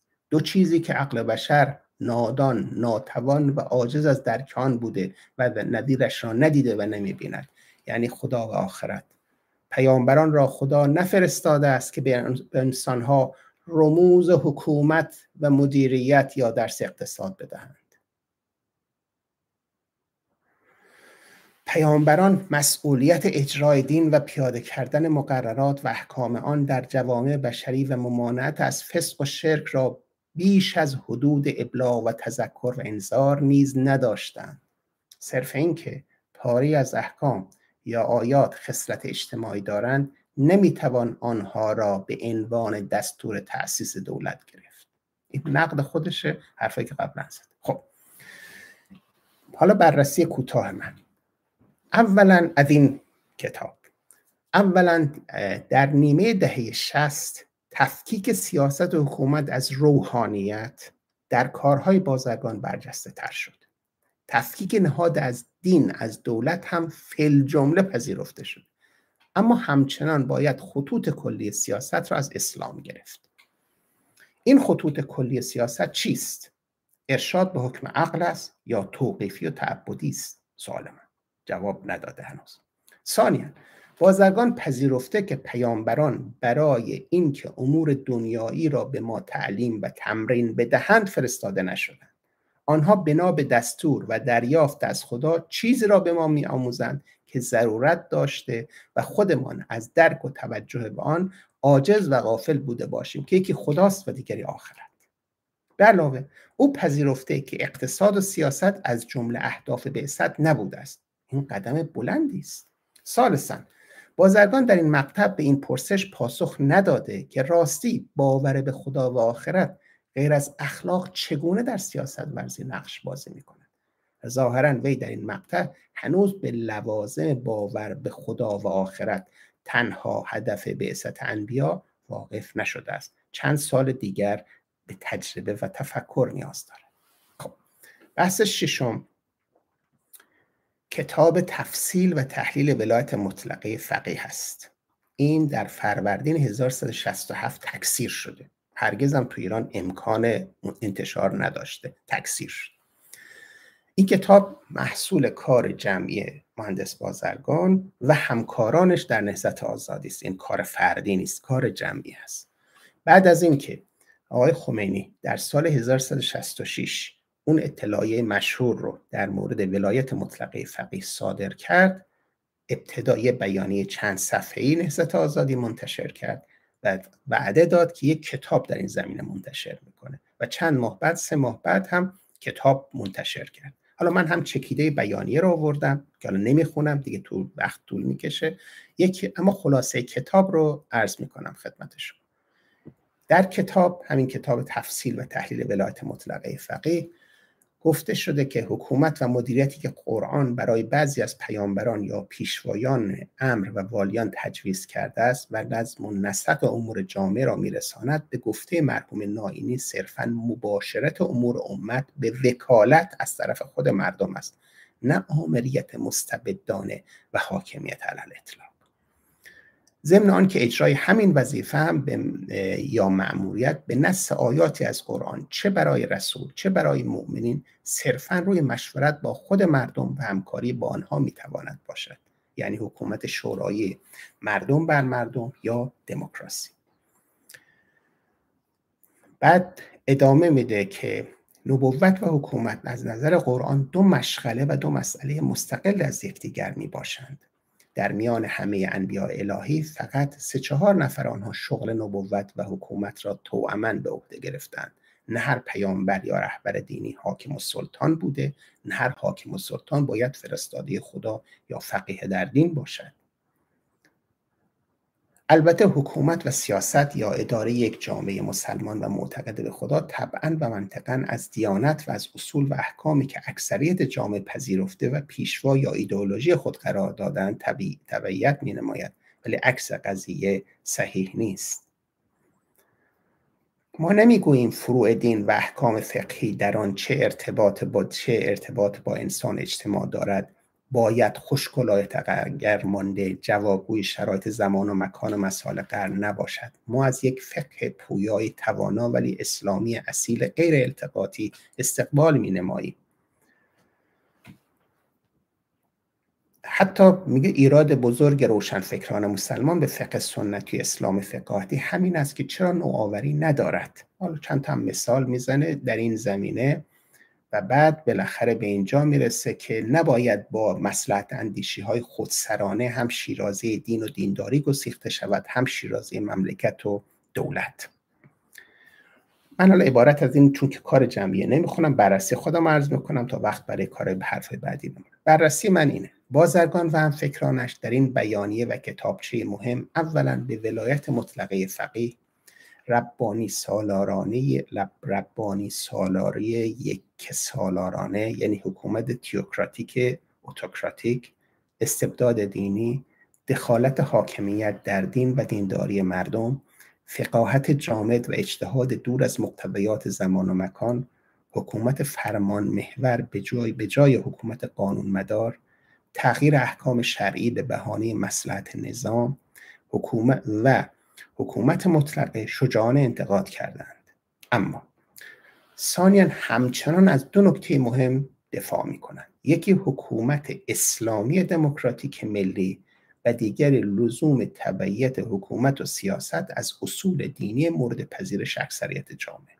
و ثالثا به این باور رسیدند که اساس و قسمت اعظم قرآن و دعوت و تعلیمات همه پیامبران برای این دو هدف است خدا و آخرت. و احکام احکام معاملات فقهی یا همان اجتماعیات تعالیم سیاسی را جهت تدارک و تطبیق با محیط و شرایط زندگی آخرت و نه برای اداره دنیا معرفی کرده است. بازرگان در این مقطع در حال گذار است اما هنوز از جدای کامل نهاد دین از دولت فاصله دارد.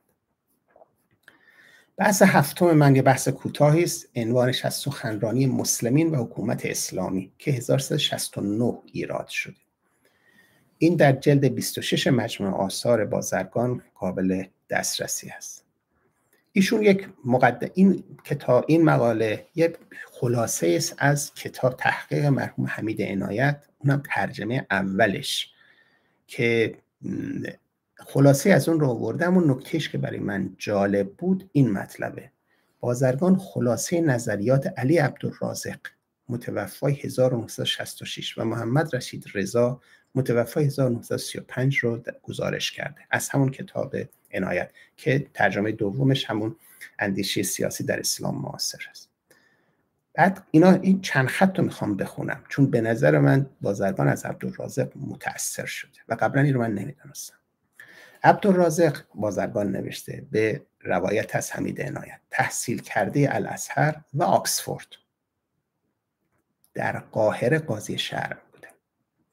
کتاب مهمش الاسلام و اصول الحکم است. دو بار به فارسی ترجمه شده رو در نظر داشته باشید صریحا اعلام کرد. کی اعلام کرد؟ 1924 دورانی که خلافت عثمانی منقرض شد. ایشون در الازهر این کتاب رو نوشت. حالا ببینم چه به سرش گفت که صریحا اعلام کرد که خلافت نه در قرآن نه در سنت و نه در اجماع اساس دارد. بی اساس. ماحصر تفکر عبدالرزاق به روایت بازرگانی است یک قدرت و دولت سیاسی هر قدر هم که جهت اجرای آرمانهای اسلامی اجتناب ناپذیر باشد به جوهر اسلام متعلق نیست. و مخصوصا هیچ یک از اصول عمده را تشکیل نمی‌دهد. یعنی سیاست جز ذات اسلام نیست. دو اسلام اگر درست فهمیده شود مسلم مسلمین را در انتخاب هر شکل دولتی که برای تأمین رفاه خود لازم بدانند آزاد می‌گذارد. سه عقیده مخالف. دایر بر این که در اسلام دین و سیاست یک کل متصل را تشکیل می‌دهد تا آن حد که سیاست را در درجه اول با خلافت و سپس با رژیم های ستمکاری که در طول تاریخ بر مسلمین حکومت کردند ارتباط می‌دهد این امر نادرست است. یعنی این که بیایم بگیم سیاست و دیانت در هم آمیخته شدن این تف... این ذات اسلامه این معرف اسلامه میگه درست نیست.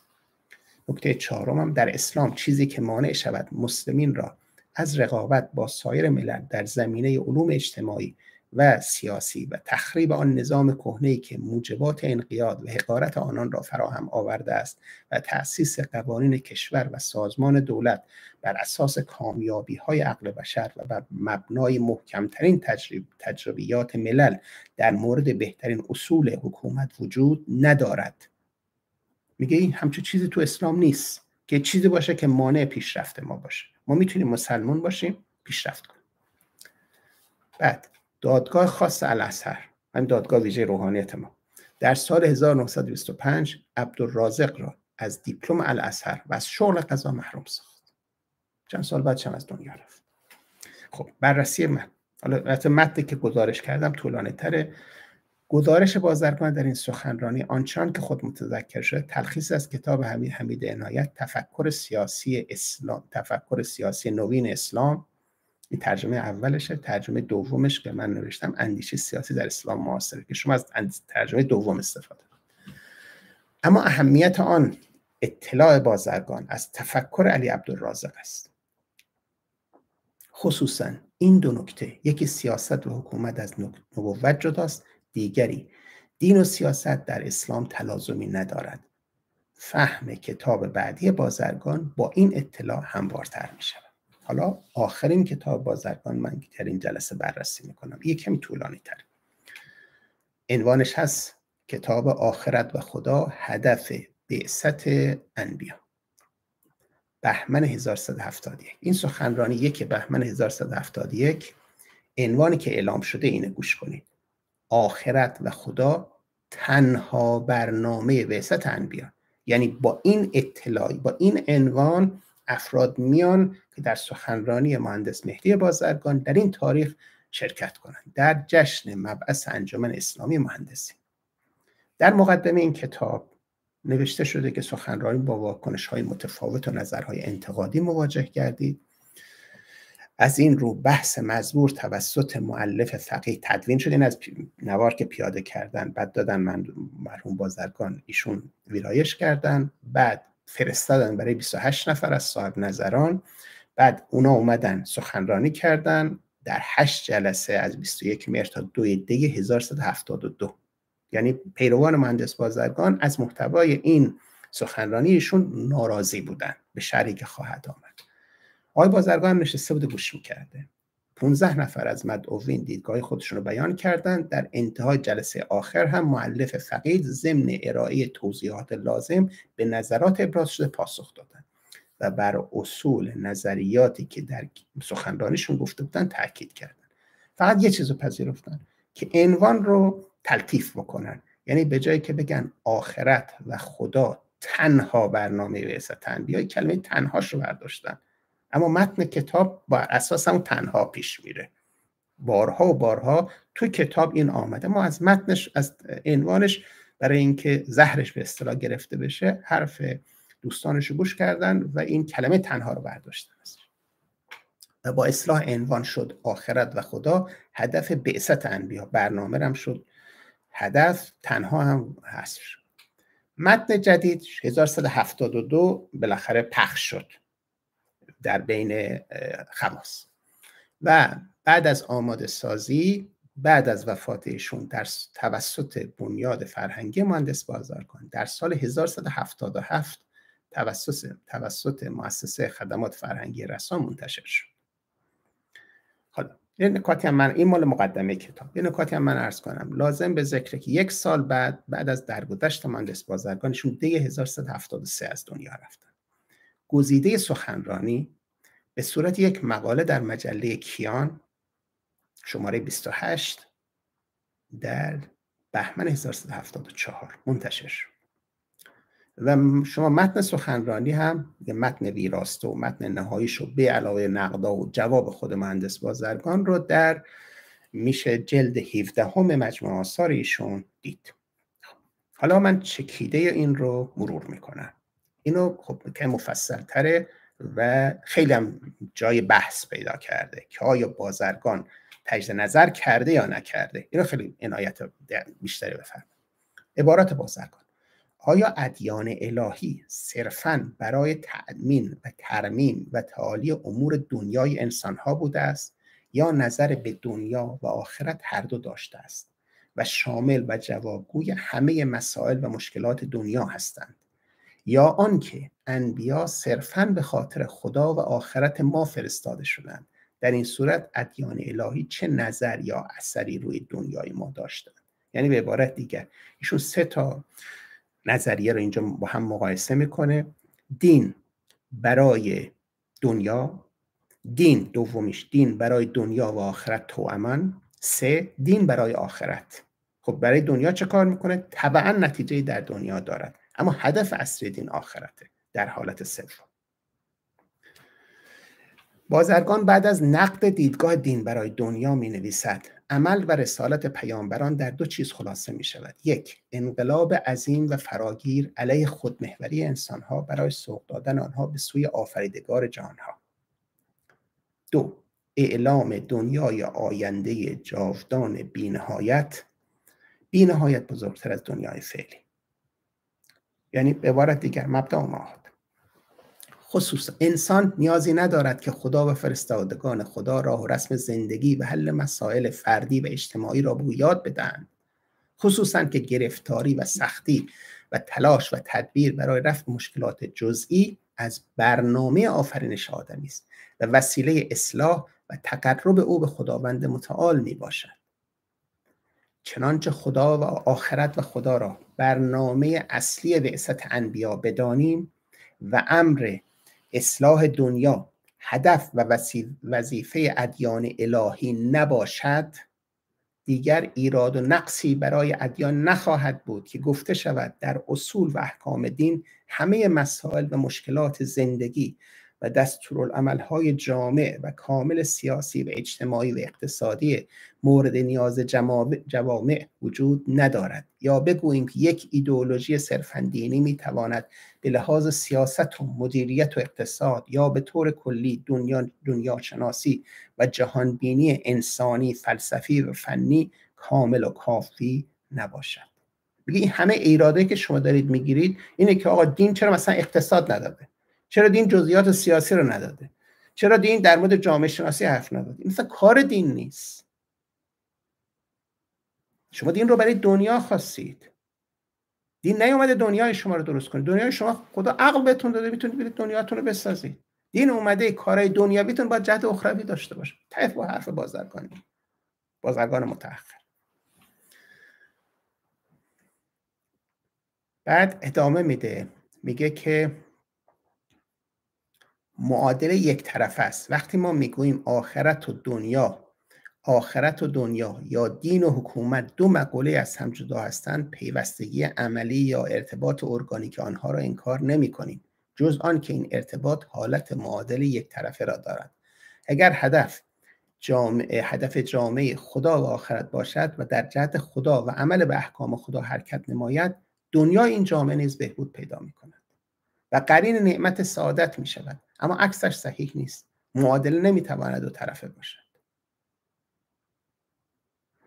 مسئله عنوان بخش بعدی این کتاب مسئله حکومت و اداره امت یا ادغام دین و سیاست. حالا نظر آخرش چیه؟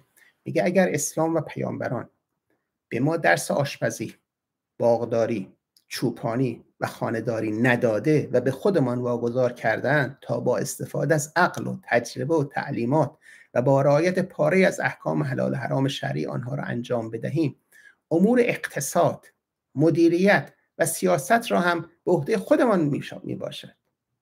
اشکالی ندارد که ادیان الهی مبارزه با ستمگران و عدالت و اداره امتها را تجویز و تاکید کرده باشند ولی ایدئولوژی و احکام و تعلیمات خاصی در آن زمینه ها نداده باشند. اصرار ما در منحصر دانستن هدف دین منحصر بین هم واژه تنها منحصر دانستن هدف دین به آخرت و خدا و تفکیک رسالت انبیا از سیاست و اداره دنیا برای چیست؟ شعارهای دین برای دنیا یا دین و دنیا با هم؟ طرز تفکر ظاهرا مترقی و معقولی که هدف از بعثت و رسالت انبیا سلامت و سعادت زندگی انسانها و اداره صحیح دنیا بوده است؟ یا توأم با آخرت می باشد. این اگر ما بپذیریم که هدف دین فقط دنیاست یا هدف دین هم دنیا هم آخرت است یک سلسله زیانها آفات و انحراف هایی به بار می آورد که نهایت آن خسر دنیا و الاخره شدن است. مهدی بازرگان متدین متشبه رو میگه. میگه اگر کسی ببینید چه بعد از 43 چهار سال تو انقلاب چی پیش اومده؟ اومدیم گفتیم دین اومده دنیای شما رو درست بکنه. حالا ببینید بازرگان سال 71 هفت مورد رو گفته میگه اگر شما این حرفا رو بپذیرید بگید دین اومده قرآن اومده سنت اومده فقه اومده که دنیای شما رو درست بکنه همه این هفت اشکال یا برخی از اون اشکالات پیدا میشه. حالا اشکالات چی هست؟ ولی هر کدوم چندین صفحه توضیح داده. من هر کدوم توی پاراگراف خلاصه کردم. شاید نرسم همه اون یه پاراگرافشم بخونم. مورد اول میگه تبدیل توحید به شرک. وقتی به بهبود زندگی فرد اجتماع و مدیریت مطلوب مدیریت مطلوب دنیا پا به پای آخرت و خدا هدف و منظور دین قرار بگیره و مورد علاقه و عقیده ما بشه از آنجا که به طور کلی اهداف و معبودهای بشری این به اصطلاح خداشناسی به اهداف و معبودهای بشری منظم شده و به خدا یکتا محسوس و معنوس انسانها در دسترس این قرار می‌گیره. خلاصش میگه این. میگه که اعتقاد شما به خدا خدا که نادیدنی است. اما امور دنیوی محسوسه. خب تو این مسئله شما تمایلتون به کدوم بیشتر میشه؟ به امور دنیوی. از توحید بیشتر فاصله می‌گیرید. در نتیجه شما به شرک نزدیکتر میشید. توضیح این توضیح اون چه که ایشون فرمود بدین وسیله توحید تبدیل به شرک با همه آثار و مظالم و مفاسد حلاکتبار آن گردیده دیانت و دینداری از اصالت و خاصیت میفته برای که شما قرار بوده که تو دینداریتون آخرت رو نتیجه بگیرید. فقط دنبال خدا باشید. حالا تو دینداریتون شما تدبیر دنیوی رو در عرض خداشناسی قرار دادید. خب دیگه توحید نیست. تکسر پیش اومد. دوم اشکال دوم. انصراف از دین و سلب امید و ایمان مردم نسبت به دین در اثر ناتوانی دین و شریعت در جوابگویی به مسائل بیشمار و نوظهور علمی و انسانی. خب قرار شده که دین بیاد این همه مسائل حل بکنه. تورم کار دینه. تشریف بیار حل بکنه. حل که نشد کیر متهم میشه؟ دین متهم میشه. خب از اولش آقا حل تورم اصلا کار دین نبوده. تو بی خود اومدی خودت متولی حل تورم شدی. حالا فقط بحث تورم اقتصادی نیست. مدیریت سیاسی. اینکه چجوری تو منطقه با کی چجوری رفتار بکنی؟ خب اینا کار سیاسیه. چه ربطی به دین داره؟ چه ربطی به فقه داره؟ دین نیومده ولی کارا رو بکنه. نه سیاست خارجی نه سیاست داخلی نه سیاست اقتصادی نه سیاست اجتماعی. الی آخر. اینا کار بشری است. عقل بشریه. اشتباه می‌کنیم. وقتی هم اشتباه کردیم ما اشتباه کردیم. اشتباه که پای خدا و پیغمبر قرار نیست نوشته بشه. اینم شماره دوش. می میگه اینم مسئله است که جوان میشه سوم. میگه زبان تصرف دین و دولت به دست رهبران شریعت از جمله نتایج معکوس و تجربیات تلخ قضیه است. توضیح میده. میگه که شما اگر بیاید دین رو برای دنیا و آخرت یا برای دنیا بخواید همون کاره خواهید کرد که آبای کلیسا در دوران قرون میانه کردن.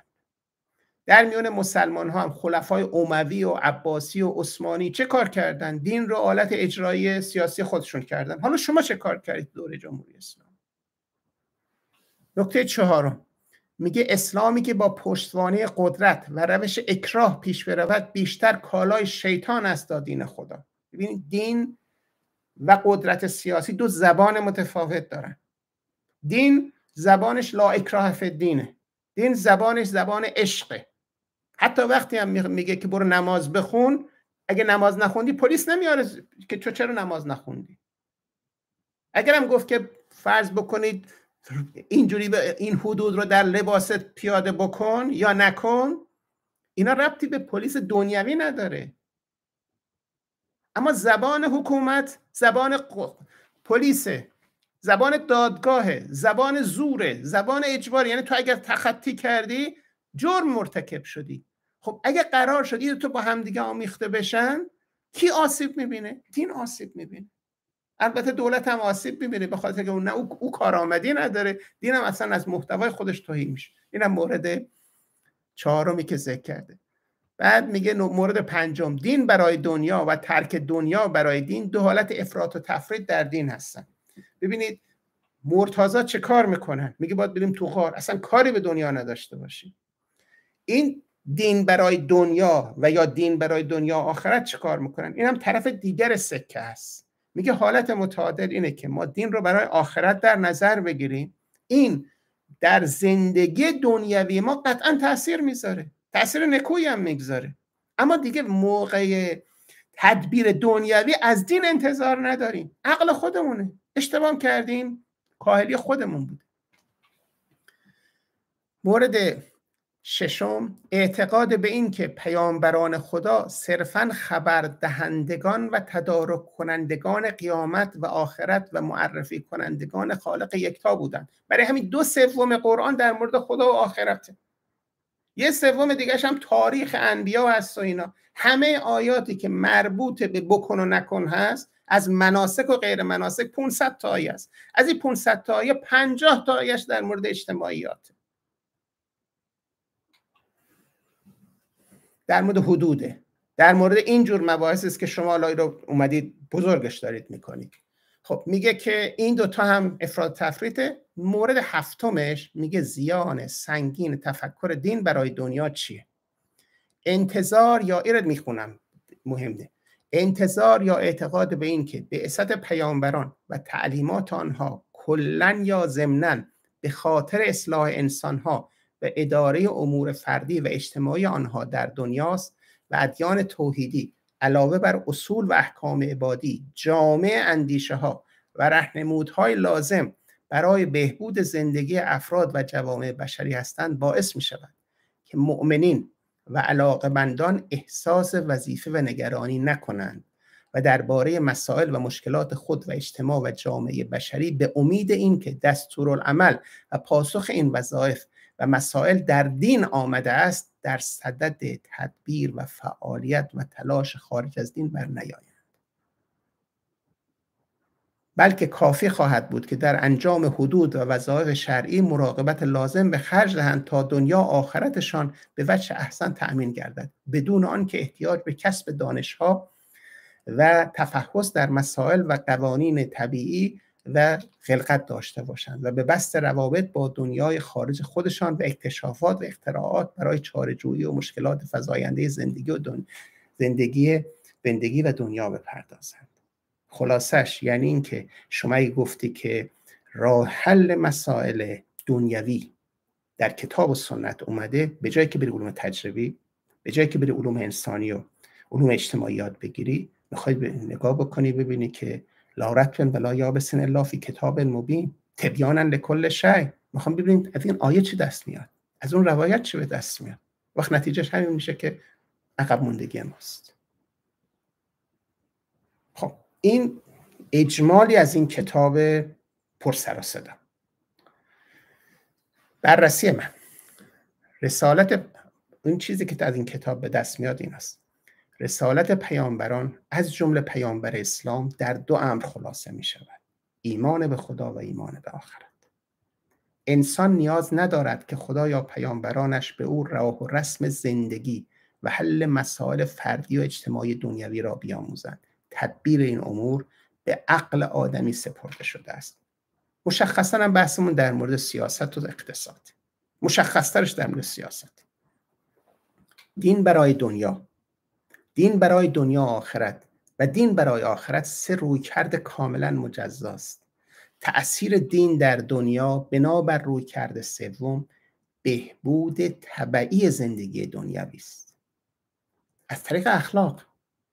یعنی من اگه دین دار باشم خدا پرست باشم آخ با آخرت ایمان داشته باشم یک جوری رفتار می‌کنم که یک فرد ملحد اونجوری رفتار نمی‌کنه. اما تدبیر سیاست دیگه به ایمان و کفر من ربطی نداره. مؤمن باشی یا کافر سیاست نتیجه خودشو داره. سیاست هیچ ربطی به دین نداره. همطور که اقتصاد ربطی به دین نداره.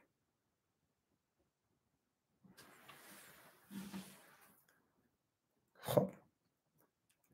بنا خب قرآن و تعالیم اسلامی به نظر بازرگان در این کتاب از روی کرده سوم دفاع می کند دین برای آخرت. بدون اینکه منکر ارزش کوشش عقلی علمی و عرفی برای ارتقای زندگی دنیوی شود. اما تدبیر دنیا کار دین نیست. کار متخصص دینم نیست. کار فقه هم نیست. پیامبران آمدند تا زیست دنیوی انسانی را در جهت ارزش های الهی اونم با اختیار خودشون. و برای دستیابی به سعادت حقیقی که در آخرت تحصیل می شود هدایت کنند. نه اینکه به انسان تدبیر دنیا سیاست اقتصاد و مدیریت بیاموزند. ولایت فقیه بر اساس همچو دین شناسی ضعیفی استوار شده. اون هم که میگه حکومت اسلامی ولو منهای ولایت فقیه که حالا اینم عرض می‌کنم اون هم فکر می‌کرده که دین توش اصول سیاسی اومده. سیاست دینی اقتصاد دینی و حکومت دینی همگی از اجزای رویکردهای دین برای دنیا و دین برای دنیا و آخرت با هم است. این دو رویکرد یک سلسله زیانها و آفتها و انحرافهایی به بار می آورد که نهایت آنها به تصریح بازرگان خسارت دنیا و آخره شده است. یعنی نه شما آخرت رو به دست میارید. دنیا هم که می‌بینیم ماشاءالله چقدر خوب داره پیش میره. علامت تعجب. بازرگان به هفت آفت سیاسی این دو روی کرد هفت آفت اساسی این دو روی کرد اشاره می کند که می توان آنها را به دو تا عامل تقویه داد. تخریب دین تخریب دنیا. یعنی شما نه این روش رو که پیش گرفتید. فکر نکنید آخرت آبادی خواهید داشت. دنیاتون هم که می‌بینید چقدر خراب تخریب دین یعنی دور شدن از تعالیم توحیدی و تخریب دنیا یعنی نپرداختن به علوم بشری. اعم از علوم تجربی و انسانی اجتماعی و اکتفا به علوم دینی. اینها هرگز علوم دینی که هرگز برای دنیا طراحی نشدن. برای تدبیر دنیا طراحی نشدن. فقه هرگز برای سیاست مداری تدوین نشده. برای اقتصاد تدوین نشده. در این صورت دیگر نمی‌توان از دین انتظار ارائه اصول کلی سیاست و اقتصاد را داشت. که بازرگان تا حوالی 65 می‌خواست اصول کلی را از کتاب سنت استخراج کنه خصوصا از قرآن. آنچنان که بازرگان در این اثر برخلاف آثار قبلی از این ادعا دست برداشته است لذا می‌توان گفت حالا اون حرف آخر رو من الان نمی‌زنم تا یک نکات دیگر رو عرض کنم متناسب با وقت باقی مونده. این جنبندی بخش دوم که بگیم بازرگان بعد از انقلاب چه می‌گفته. مهدی بازرگان در تمام طول زندگی به این اصول در نسبت بین دین و سیاست پابند بود و هرگز در آنها تجدید نظر نکرد. یعنی یک دو سه کردم دقت بفرمایید. خلاصه این بحث طولانی است. اول حکومت بر مردم کار نمایندگان مردم با تحصیل رضایت ایشان است. او همواره مدافع حکومت دموکراتیک بود. از اول تا آخر زندگیش انصافا دوم استبداد در تمام ابعاد آن از جمله استبداد دینی مضر است. قبل و بعد از انقلاب همین رو می‌گفت. استقامت کرد. سوم وظیفه روحانیون زمامداری و تعیین مقامات سیاسی نیست. حکومت اسلامی به معنای حکومت روحانیون یا ولایت فقیه قابل پذیرش نیست. در تمام زندگیش اینو گفته. حالا گاهی وقتا آرامتر گاهی وقتا مثل 67 سریعتر. حالا در کجاها مورد تحول قرار گرفته؟ تفکر بازرگان در این محورها به تدریج پس از تجربه جمهوری اسلامی دچار تحول شد. اینا رو اگر اول می‌گفتم خیلی خلاصه است ولی شما باور نمی کردید که این تحولات اتفاق افتاده باشه. یک بازرگان تا اواخر دهه شست معتقد بود رسالت و امامت مشتمل بر سیاست و حکومت است. لذا قرآن و اسلام را این گونه می‌فهمید. یعنی آیه بعثت هم که می‌خوند از توش حکومت در می آورد از توی کلمه منهم و امیون دموکراسی در می آورد این قبل از این کتاب. دو او حداقل تا اواسط دهه 60 معتقد بود. اسلام اصول سیاست و هدف حکومت را تعیین می کند ولی وارد جزئیات نمی شود می گفت اسلام باید بر سیاست و حکومت سیطره داشته باشد اما سیاست و حکومت مجاز به دخالت در امور دینی نیست. او در اثر اخیرش از این ادعا دست برداشت. چیزی نگفتنی وارد سه بازرگان تا حداقل تا اواخر دهه 60 از حکومت دموکراتیک اسلامی ملی حمایت می‌کرد. اما در اثر اخیرش نکته در این زمینه به چشم نمی‌خوره. چهارم بازرگان قبل از انقلاب فقها را عملا به دخالت در امور سیاسی و نظرا به تدوین احکام فقهی سیاست و اقتصاد و مدیریت تشویق می‌کرد. عبارتشو خونده در دهه 60 همچنان به تجدید نظر در فتاوا در مباحث اجتماعی تشویق می‌کرد. اما در اثر اخیرش هر دو امر را به کناری نهاده است. میگه اینا مال دین برای دنیاست. که خودش هم قبلش مبتلا بوده به همین. همه ما مبتلا هستیم. پنجم بازرگان حداقل تا اواسط دهه 60 به نظارت عالیه هیئت عالی روحانی منتخب برای رفع اختلافات ما بین ملت و حکومت و ما بین مقامات مختلف دولت بر اساس قرآن و سنت و عقل با حق وتو و نصب قوانین مصوب مجلس معتقد بود. قبل و بعد از انقلاب. اما از چنین حق نظارتی در اثر اخیرش خبری نیست. ششم. تلقی بازرگان از سیاست قبل از انقلاب بسیار انتظایی و بسیط بود. بعد از تجربه جمهوری اسلامی به تدریج از این تلقی فاصله گرفت و به پیچیدگی های سیاست و تفاوت آن با دین بیشتر واقف شد. این وقوف در اثر اخیرش به اوج می‌رسد. هفتم بازرگان از سال 1364 به دو نکته مهم واقف می شود یکی این که پیامبران نیامدهاند که امور دنیوی که عقل بشری به آنها می‌رسد به ما تعلیم دهند. تعلیم اصلی پیامبران ایمان به خدا و آخرت است. دیگر اینکه اقتصاد و سیاست از جمله اهداف بعثت نبوده است. این دو نکته در اثر اخیر بازرگان به اوج خود می‌رسد. هشتم. از اواخر دهه 60 بازرگان متوجه این نکته می شود که احکام معاملات فقهی یا همان اجتماعیات تعالیم اسلامی جهت تدارک و تطبیق با محیط و شرایط زندگی آخرت است نه برای اداره دنیا. این نکته در اثر اخیر بازرگان دوباره به اوج خودش می‌رسه. نهم آشنایی غیر مستقیم با کتاب الاسلام و اصول الحکم علی عبدالرزاق علی عبدالرازق. جدایی یعنی جدایی سیاست مداری از پیامبری.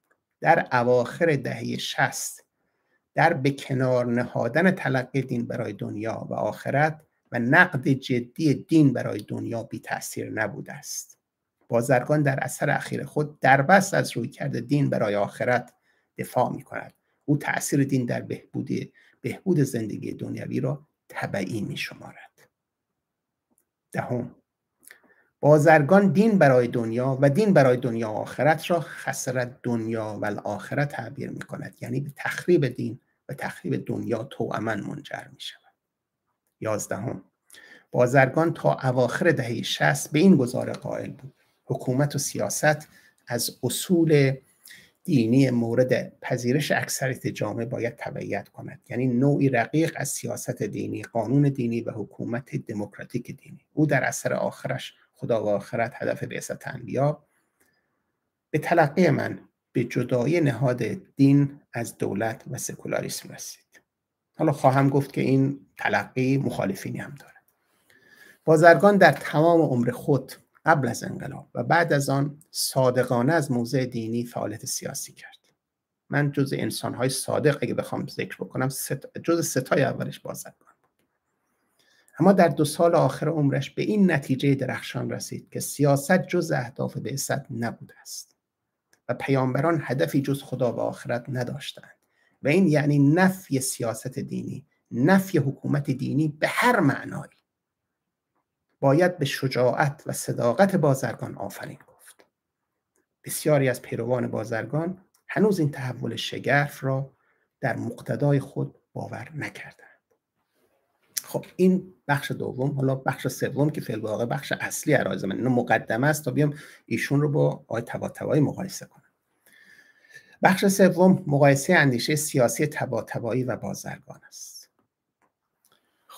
درباره وجوه اشتراک آقای تباتبایی و بازرگان من تو گفتار قبلی گفتم. چند عبارت و چند خط از حرف قبلی خودم نقل می‌کنم چون باید این بیادمون بیاد. چرا من مقایسه دارم می‌کنم؟ چرا نمیام بازرگان تباتبایی رو با کس دیگری مقایسه کنم؟ گفتم آقای تباتبایی متولد 1281 بوده. مهندس بازرگان متولد 1286 بوده. یعنی 5 سال با اختلاف سن داشتن. هر دو اصالتا تبریزی. هر دو ترک بودن. تبا تبای تحصیل کرده حوزه نجف و اهل فلسفه و علوم دینی بوده. بازرگان تحصیل کرده مهندسی ترمودینامیک از فرانسه. علا رغم حوزه متفاوت تحصیلی علمی هر دو حیات مؤمنانه و درد دین داشتن دغدغه دین داشتن. اخلاقی زندگی کردن. به قرآن عنایت خاص داشتن. تعالیم اجتماعی اسلام رو مورد توجه ویژه قرار داده بودن. اگرچه از تلقی خاصی هر دو از حکومت اسلامی دفاع می‌کردن. هر دو. اما هیچ کدوم به ولایت فقیه هرگز باور نداشتند هر دو با آقای شریعت مداری سید کازم شریعت مداری نزدیکتر بودند تا با آقای خمینی. هر دو منتقد جمهوری اسلامی و مشی سیاسی و دینی آقای خمینی بودند تبا تبایی از ابتدا بازرگان حداقل بعد از همکاری به عنوان دولت موقت. میشه به این شباهت ها افسود حالا اجازه بدید همین به کنیم. هر دو اهل صداقت بودن. اهل یک رنگی بودن. هر دو چه در روی کرده دینی چه در روی کرده سیاسی اجتماعی مستقل از آقای خمینی بودن. روابط دوستی این شخصیت بزرگ ایران معاصر حداقل به دهه سی برمیگرده که من شواهدش جلسه پیش گفتم خب حالا بیایم سراغ نکات اصلی. من چهار بحث دیگه دارم به شکل امنا کوتاهتره بحث نهم این سلسله مسلسل بازرگان متقدم و متأخر. آیا میشه به این قائل شد یا نه؟ این همون حرفایی است که اختلافی است میراث کتبی شفای آقای تباتبایی یک نظریه سیاسی را از اول تا آخر بیشتر نشون نمیده. نظر سیاسی آقای تباتبایی حکومت اسلامی یا انسانی منهای ولایت فقیه با زمامداری منتخب مردم که با مشورت ایشان و رعایت مسلحت اونها با اقتدا به سنت و سیره پیامبر جامعه را اداره می‌کنه. این اصاره تفکر آقای تباتبایی اکثر قریب به اتفاق آرای سیاسی آقای تباتبایی قبل از 15 خرداد 42 ارائه شده عرضه شده. مشخصا من با سال اینا رو زحمت کشیدم با سال یکی یکی از تو المیزان که چاپ اول المیزان کی بوده. نوان مال نیمه دوم دهی سیه. سالها قبل از آقای خمینی. در میراث نظری و عملی مهندس بازرگان دو نظریه دینشناسی و به طبع آن دو نظریه سیاسی به چشم می‌خوره که از آن به بازرگان متقدم و بازرگان متأخر میشه یاد کرد. مرادم از بازرگان متقدم تا اواخر دهه 60 البته از اواسط دهه 60 دقیقا از سال 1364 در سخنرانی ناگفته های بعثت نشانه های گذار به تفکر متأخر مشاهده میشه. اما این چند سال طول می‌کشه هفت سال طول می‌کشه تا به کمال خودش برسه. بازرگان در تمام زندگی خودش منای حدود چهار سال آخر به دین برای دنیا و آخرت توأمن قائل بود.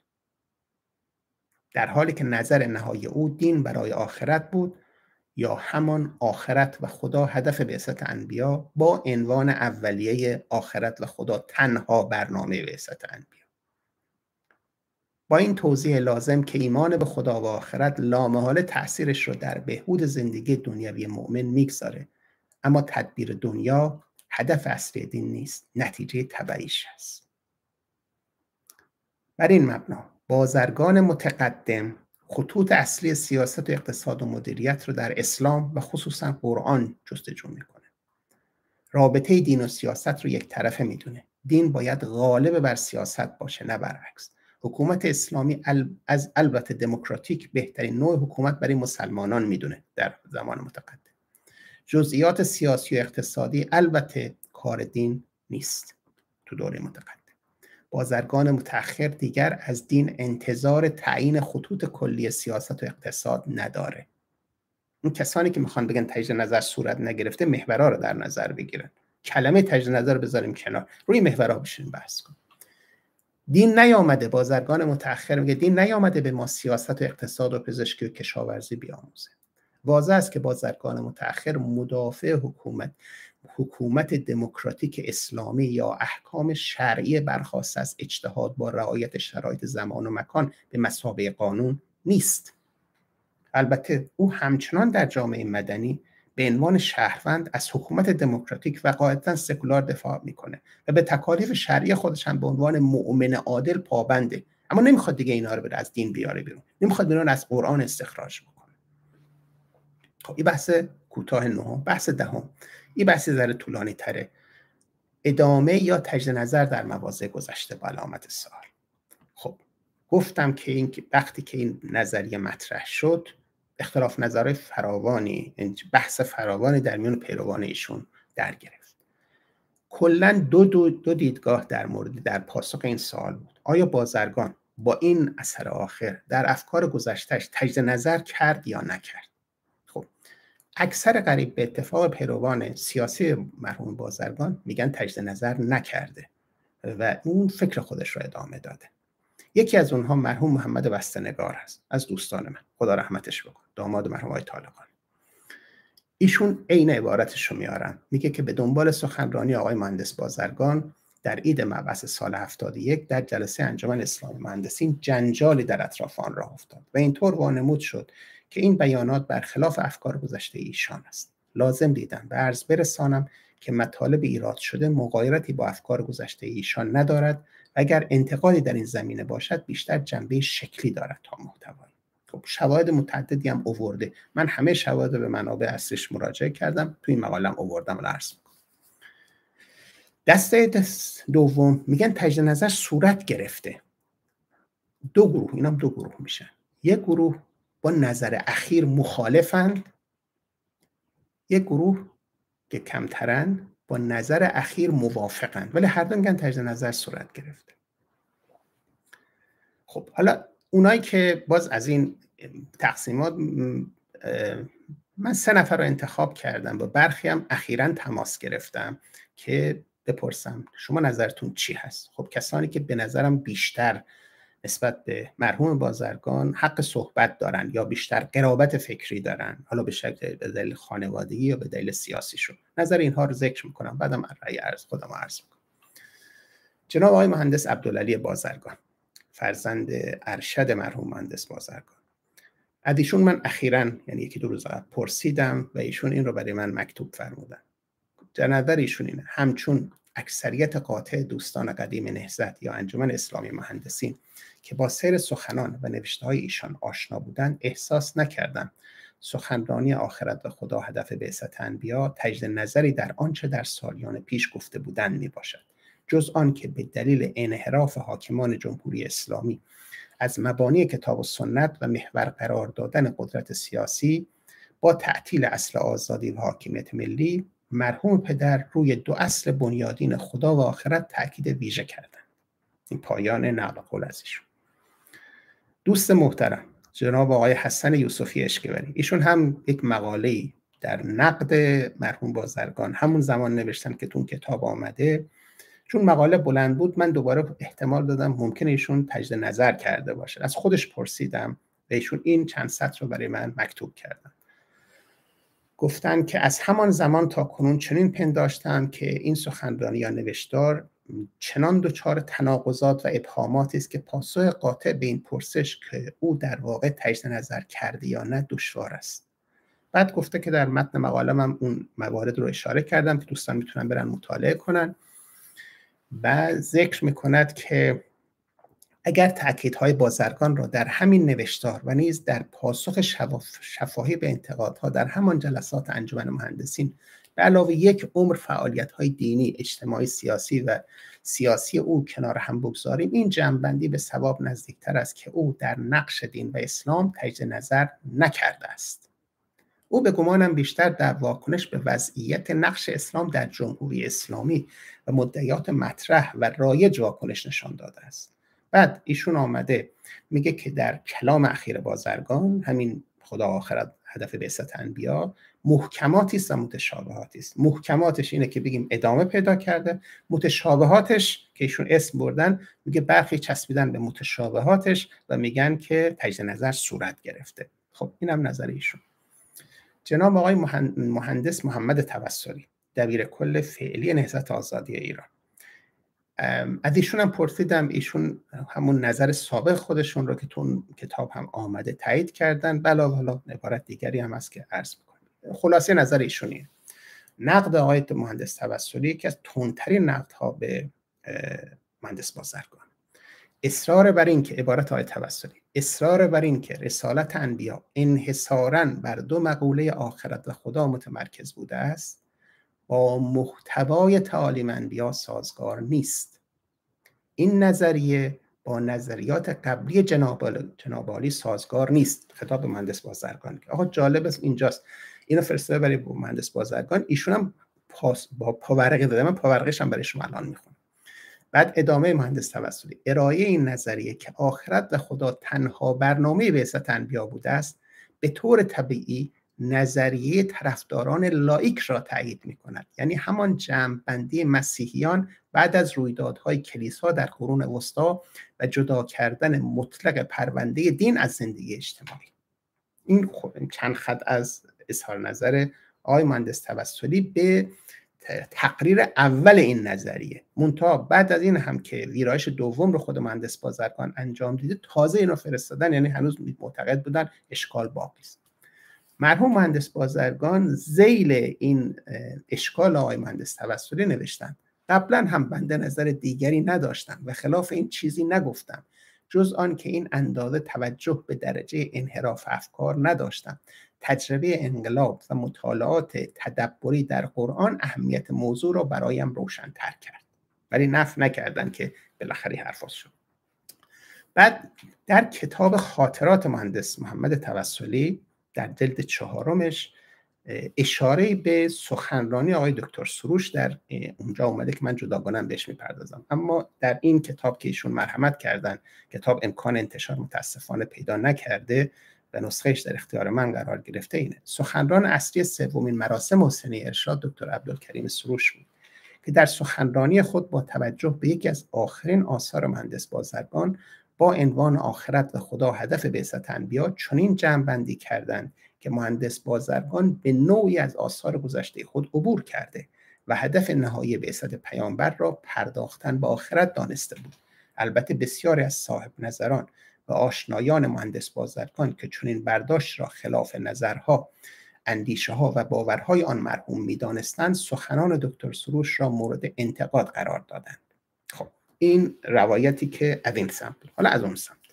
خب تنها کسی که آثار مکتوبی اثر مکتوبی ازش در دفاع از تجدید نظر بودن مهندس بازرگان است همون سخنرانی دکتر سروشه که من خلاصی از اون رو میارم اینجا.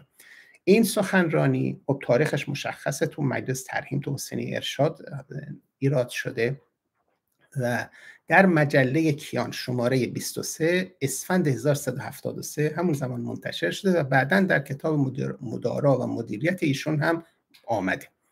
خب حالا یک صفحه من به دلیل اهمیت آوردم و اتفاقا من تقریبا هم نظر با آقای سروش هستم تو این زمینه. اونجا ایشون ذکر می کند که بازرگان به جد معتقد بود که دین هم برای تأمین دنیای آباد و پیشرفته و با نظم آگاه آمده و دینداران می توانند از دین درس دنیاداری بیاموزند. این ابتدا قائل بوده. و بعد میاد تحلیل می‌کنه که نه ایشون میاد و به این نتیجه می‌رسه که دین آمده برای آخرت و تدبیر دنیا طبعی است. مواردش دیگه من نگاه ساعت که می‌کنم متاسفانه وقت خیلی گذشته. می‌رسم به این نکته اصلیش. میگه که سروش اون نوشته است. روشن فکری دینی ما تا کنون در پی آن بوده است که دین را به کار دنیا بزند و یا در خور دنیا درآورد. باید از این پس در پی بیرون آوردن دین از چنگال دنیا و دنیاداران باشد.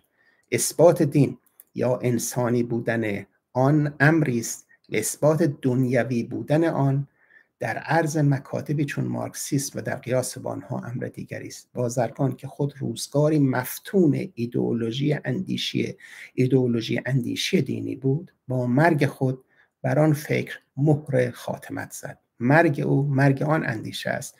برای همین است که عرض می کنم مرحوم بازرگان به اسم بازرگان بود نه به صفت. خب می‌تونید مقاله ایشون رو جداگانه بخونید.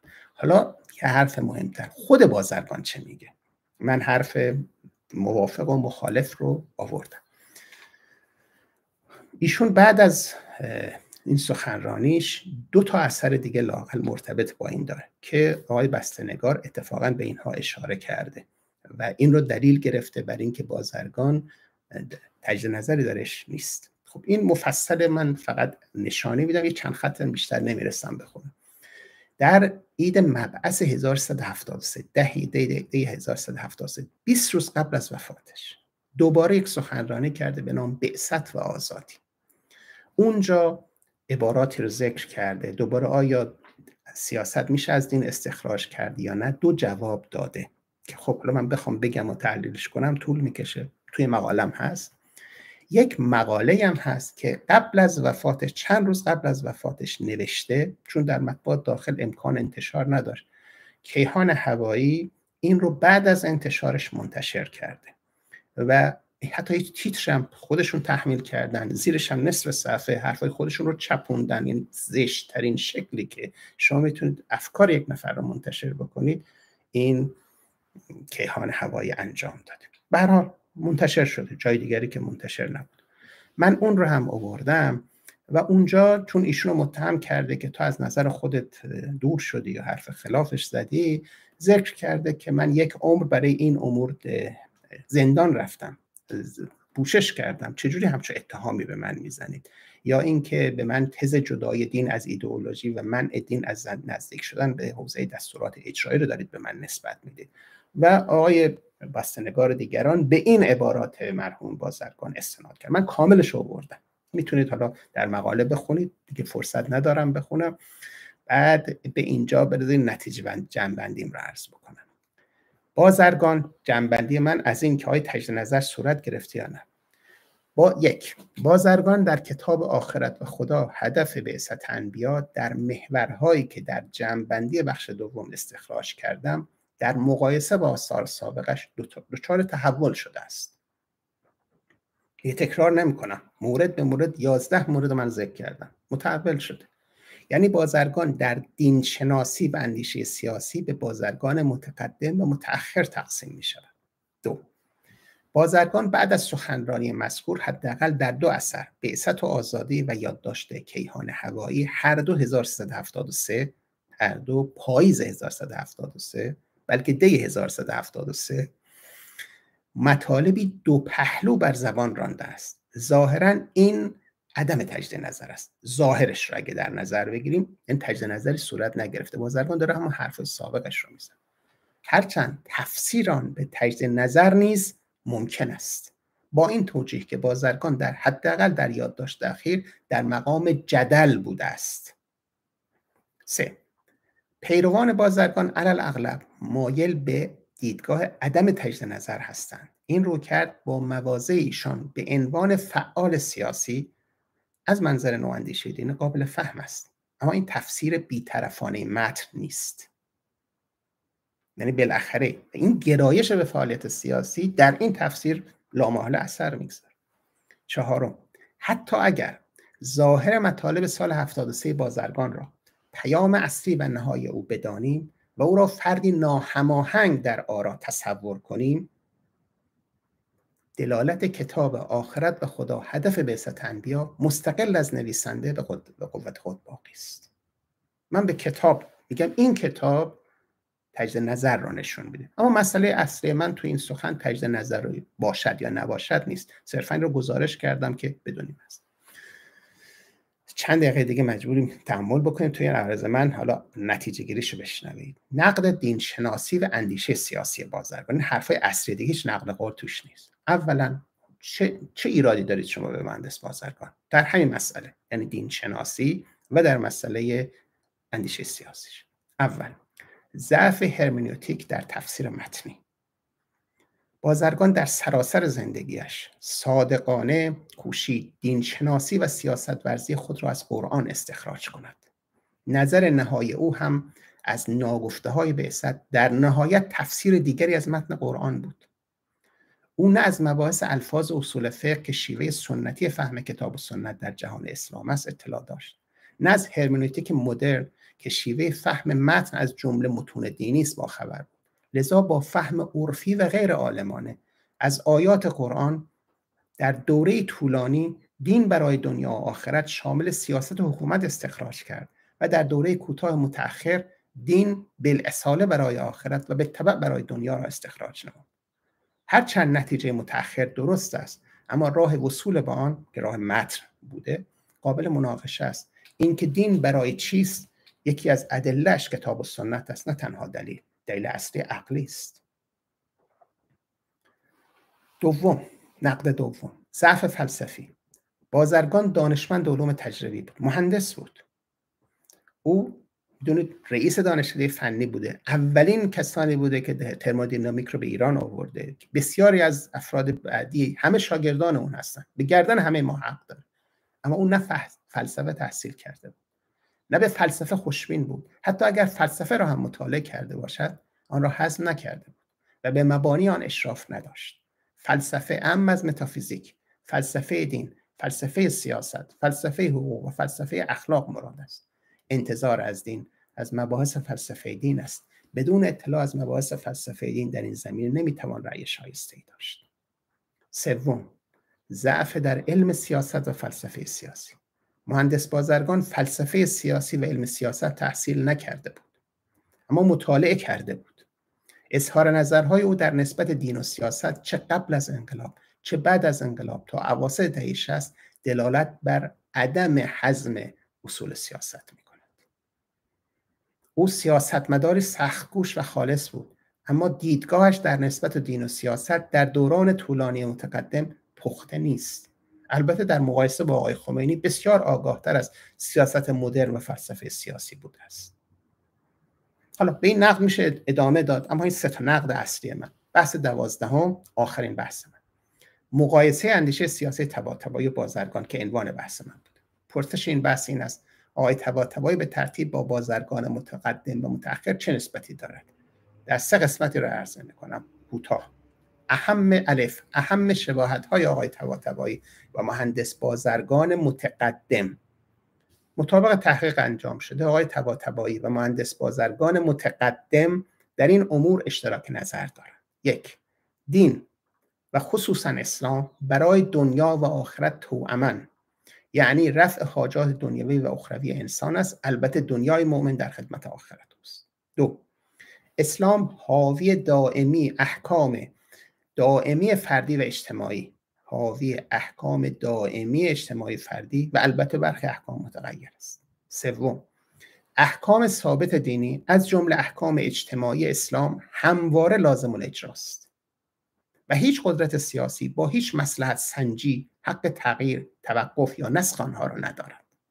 چهارم اجرای احکام اجتماعی اسلام و احکام متغیر به عهده حکومت اسلامی است. هر دو میگن. پنجم حکومت اسلامی منتخب مردم است و با تصویب روش رسول خدا و امیرالمؤمنین پیش می رود. به تعبیر آقای تبا حکومت اسلامی انسانی است. به تعبیر مهندس بازرگان حکومت دموکراتیک اسلامی. هیچ یک با روش فقهی به ضرورت وجود حکومت اسلامی استدلال نکردند ششم شکل حکومت به نظر هر دو به شرایط زمان و مکان بستگی دارد. هفتم رئیس حکومت اسلامی منتخ... حکومت اسلامی منتخب لزوما فقیه نیست. از ادله دینی یا عقلی ولایت سیاسی فقیه به دست نمی آید. هر که گفت مهندس علامه طباطبایی قالب ولایت فقیه بوده بدونید آدم بسیار بی سوادی است. مهندس بازاران که نبوده هشتم اگرچه در جامعه اسلامی اصول سیاست یا اقتصاد متخذ از کتاب و سنت خصوصا تعالیم قرآنی است اما جزئیات سیاست و اقتصاد و مدیریت و اداره جامعه کار دین نیست. نهم مراجع و روحانیت حق نصب مقامات سیاسی را ندارند. دهم هیچ یک به مشی و روش آقای خمینی نظر مساعدی نداشتند. آقای تبا سلوک فرهنگی مستقلی داشته و تفاوت سلوک اجتماعی, اجتماعی سیاسی مهندس بازرگان با سلوک اجتماعی سیاسی آقای خمینی خصوصا از حوالی سال 58 بیشتر می شود این الف. ب. اهم تفاوت های نظری و عملی آقای تبا و مهندس بازرگان متقدم. توجه متقدم. این هم اینا. اولا بازرگان به نظارت هیئت عالی روحانیت منتخب با حق وتو نسخ قوانین در موارد اختلاف حاکمیت و مردم درون و مردم و درون حاکمیت قائل بود. چون این حق نظارت در آثار آقای تباتبایی برای فقها و روحانیون مشاهده نمیشه.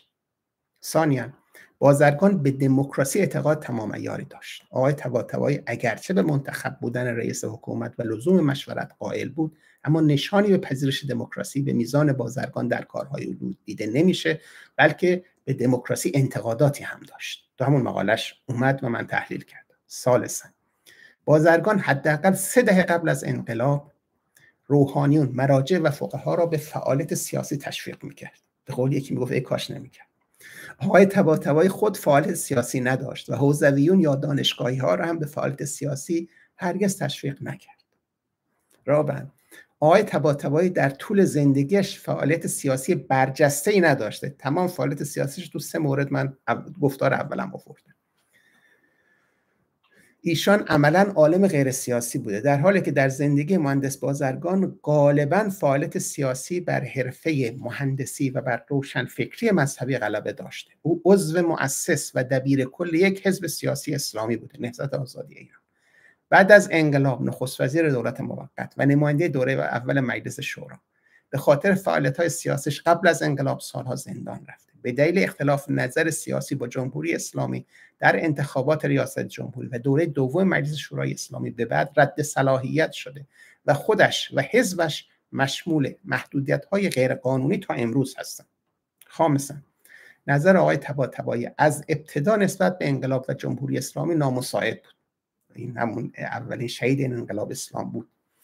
مهندس بازرگان حداقل از نیمه سال 57 تا حوالی پاییز 58 با آقای خمینی و جمهوری اسلامی همکاری تراز اول داشته. نخست وزیر شد هرچند به تدریج به نظری مشابه با آقای تباتبایی رسید. این نظر بعدی آقای بازرگان همون نظر آقای تباتبایی است. سادسا در این مقطع به نظر می‌رسد آقای تباتبایی در غالب آراء مشترک چند سال زودتر از بازرگان آراء خود را منتشر کرده است و مهندس بازرگان خصوصا در اسلام اجتماعی و حکومت اسلامی منهای ولایت فقیه متأثر از آراء آقای تباتبایی بوده است. بحث آخر. مقایسه آقای تباتبایی و مهندس بازرگان متأخر. خب، خیلی کوتاه. بازرگان 23 سال بعد از آقای تباتبایی از دنیا رفت و فرصت طولانی تری برای لمس تجربه جمهوری اسلامی این دو در این نکات متفاوت بودند. اول. دین برای آخرت یا خدا و آخرت هدف یا تنها هدف بعثت انبیا مختص بازرگان متأخر است و در کارهای آقای تباتبایی مشاهده نمی شود. ثانیا لوازم این روی کرد به این شهر هم مختص بازرگان متأخر است و در آثار آقای تباتبایی من نمی بینم. الف دست برداشتن از فقه معاملات و احکام اجتماعی قرآن به عنوان احکام دائم. ب دست برداشتن از لزوم ارائه خطوط کلی سیاست و اقتصاد توسط اسلام و قرآن.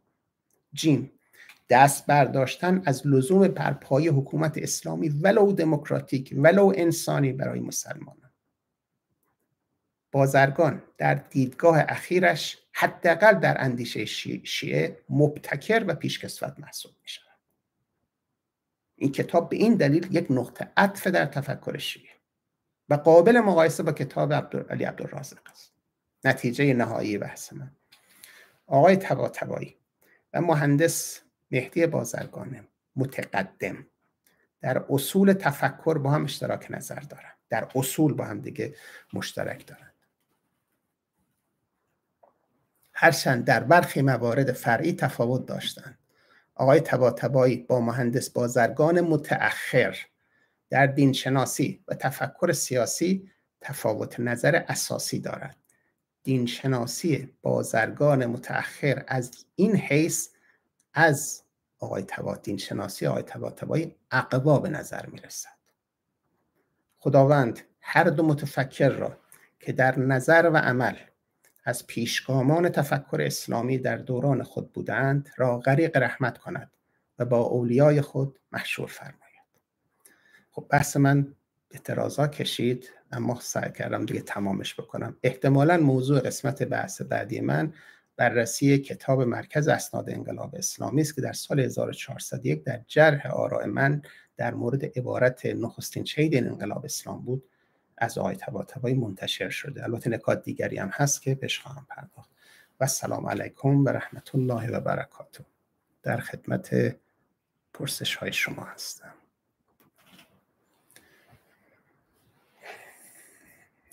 از صبر و حوصلتون هم تشکر می‌کنم.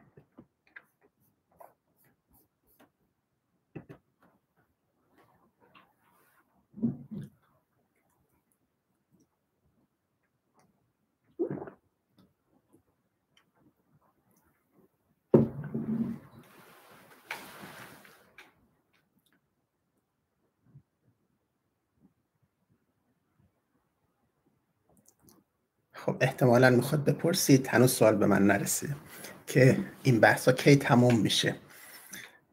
حداقل یک جلسه دیگه این گفتار ادامه خواهد داشت. اگر مباحث دیگری مطرح نشه و نکات تازه هم به ذهن من نرسه که داره می‌رسه این بحثا فقط منحصر به آقای تبا تبایی نیست. ببینید بحث خیلی جامعه تری رو من مد نظر قرار دادم.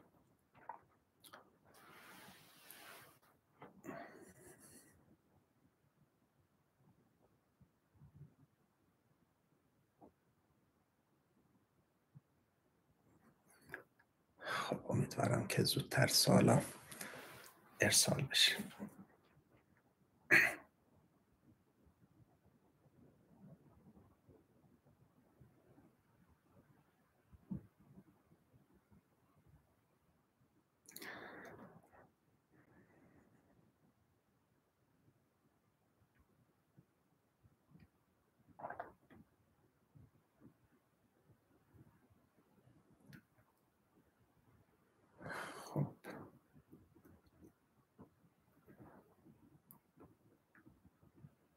این دوستی که به من کمک می‌کنن سالا رو مرحمت بکنن زودتر که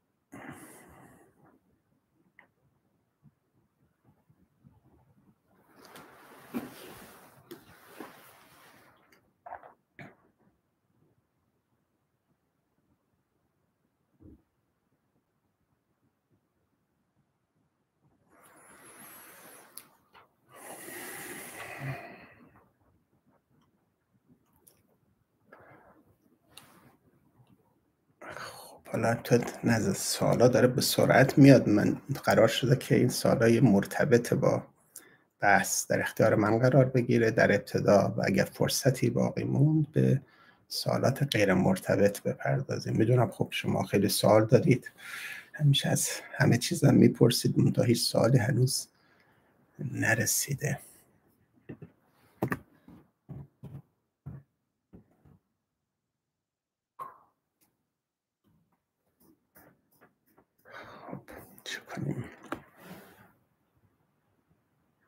خب من از همین سواله که اینجا می‌بینم شروع می‌کنم تا ببینیم سوالی به نسل می‌رسی یا نه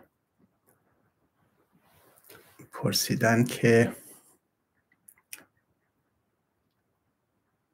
آیا مش... نه, نه. محصول سوال اینه که آیا مشکل حکومت دینی مشکل نظری است یا مشکل عملی خب با این توضیحات من مشخص شد. وقت به تجربه مسیحیت و یهودیت هم اشاره کردن که تجارب اسلام. اینکه در بازرگان متقدم فکر می‌کرد اشکال حکومت اشکال عملی است. ما می‌تونیم حکومت دموکراتیک اسلامی داشته باشیم. اما در بازرگان متأخر به این نتیجه رسید که حکومت اسلامی به طور کلی اصلا چیز خواستنی نیست. یعنی نمیشه از خواست از کتاب خواست از سنت خواست از دیس اسلام خواست. بنابراین اشکال نظری بود. اگه نظر خود منم بپرسید من از حدود 88 حداقل یعنی الان حدود 14 ساله که معتقد هستم که به امتناع حکومت دینی در زمان ما معتقد هستم. یعنی معتقد هستم حکومت و سیاست چیزی نیست که از متن دین قابل استخراج باشه. ما می‌تونیم فعال باشیم در کار سیاسی هم بکنیم اما به عنوان شهروند به عنوان انسان اعتقادات خودمون هم داشته باشیم. خب حالا الحمدلله سعادت داره می‌رسه. آیا این اندک تغییر که در نظر بازرگان صورت نگرفت به دلیل پافشاری بر دیدگاهش نبود چرا که اگر تغییر عقیده می‌داد در حقیقت که در اون قدر که ایشان از اسلام و جامعه زیر سوال می برد حالا اینکه این تغییر کم بوده یا زیاد بوده من فکر می‌کنم تغییر زیاد بوده. حالا میشه گفت قبلا گفته من اصراری ندارم. اصلا بحثم در شخص آقای بازرگان است من این فکر رو دارم میگم قول رو دارم میگم به قائل کار ندارم. شما می‌تونید بگید قائل بالاخره تحت شرایطی در بعد از این سخنرانی آمده نظرهای متفاوتی هم ارائه کرده. و عبارت دو پهلوی هم داره میشه از اونها هم استفاده این کرد که تجد نظر صورت نگرفته. اما بحثم من هستم و این کتاب کتاب آخری. این کتاب آخری می‌دونید در هرمنوتیک میگن اثر تعلیف مستقل از معلفه دیگه این که معلف چه می‌خواد بیاد بگه که نه منظور من این بوده یا اون نبوده میگیم عبارت تو چی میگه؟ استدلال تو چی میگه؟ استدلالت مهمه. ادله که اونجا آورده به نظر می‌رسه که اون ادله بسیار ادله مهمی است و اون ادله ادله درستی هم هست. یا لاقل من اون ادله رو درست می‌دونم. بنابراین این که آدم بازرگان آدم بسیار اصطلاح اگر به چیزی می‌رسید هیچ چیزی نمی‌تونست از نظرش رو برگردونه. بنابراین اصلا بنده قائل نیستم که او به دلیل فشار چیزی اومد و به این نظر آخر رسید. خیر. اون مطابق این خودش گفته به دلیل تدبرات قرآنی خودم که من ایراد گرفتم که این کفایت نمی‌کنه به تنهایی و به دلیل تجربه‌ای که در عمل دیده به این نتایج رسیده. بر حال ما جمهوری اسلامی رو می‌ذاریم کنار. خودمون میایم و با این ادله بررسی می‌کنیم. من توصیه می‌کنم شما کتاب رو دوباره بخونید. اگر نخوندید اول بخونید. ببینید شما به این نتیجه می‌رسید یا نه. بعد گفته شده تجزیه نظر طلبی واژه با بار منفی است به همین خاطر دوستداران ایشان نف می‌کنند. اصرار بر آن چه فایده دارد. ما مشکلی ندارم. گفتم از واژش استفاده نفرمایید. من 7 تا اصل اومدم 11 تا 12 تا محور دادم. شما اون محورها رو در نظر بگیرید. بالاخره تجدید نظر صورت می‌گیره. خود ما هم تجدید نظر می‌کنیم در افکار. منم در تجدید نظر کردم. دیگرانم تجدید نظر کردم منتها من هر وقت که نظر متفاوتی می‌رسم اعلام می‌کنم. حالا برخی دیگه میگه نه ما از روز اول همین نظر رو داشتیم. بسیار شما خودتون قضاوت بفرماد که آیا این درسته یا اون درسته؟ واجهش هم دوست دارید استفاده نکنید. مهم محوراست و وقتی من ذکر می‌کنم آمده میگه منحصرا نظر خدا حرف خدا این بوده است و هدف از بعثت انبیا منحصرا این دو امر بوده است و اگر شما این رو برای دنیا در نظر بگیرید هفت آفت و هفت اشکال میشه چجوری می‌خواید رو توجیهش بکنید؟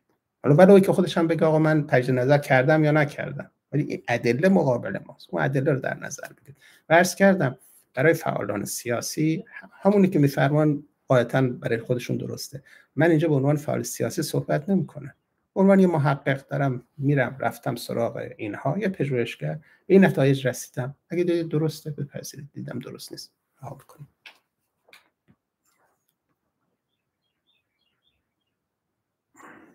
در مورد حجاب پرسیدن که من نظراتم رو مستقلا سالها قبل یعنی چیز حدود یازده سال قبل منتشر کردم. می‌تونید به اونجا مراجعه کنید. شاید مدتی بعد هم دوباره نکاتی درباره اجاب منتشر بکنم. الان اجازه بدید که وارد جزئیات نشم چون امکان یعنی فرصت کافی برای پرداختن به این مباحث نیست. نظر من هم در برخی نتایجش با مرحوم قابل یکسان هست در استدلال کاملا متفاوت هست. از همون هم زمان هم که ایشون زنده بود من اون ادله رو نادرست می‌دونستم. الان هم نادرست می‌دونم. اما در نتیجه یکسان هستیم. در بسیاری از نتیجه در این زمینه یکسان هست پرسیدن اگر حکومت دست از ولایت فقیه بردارد دیگر چه میماند؟ چه ارز کنم چه میماند؟ مگه همه چیز ولایت فقیه البته حالا شما می‌تونید بپرسید اگر دست از حجاب بردارد چه میماند؟ می‌بینید ما اومدیم خودمون رو به یک چیزای سنجاق زدیم بعد مشکل ایجاد میشه.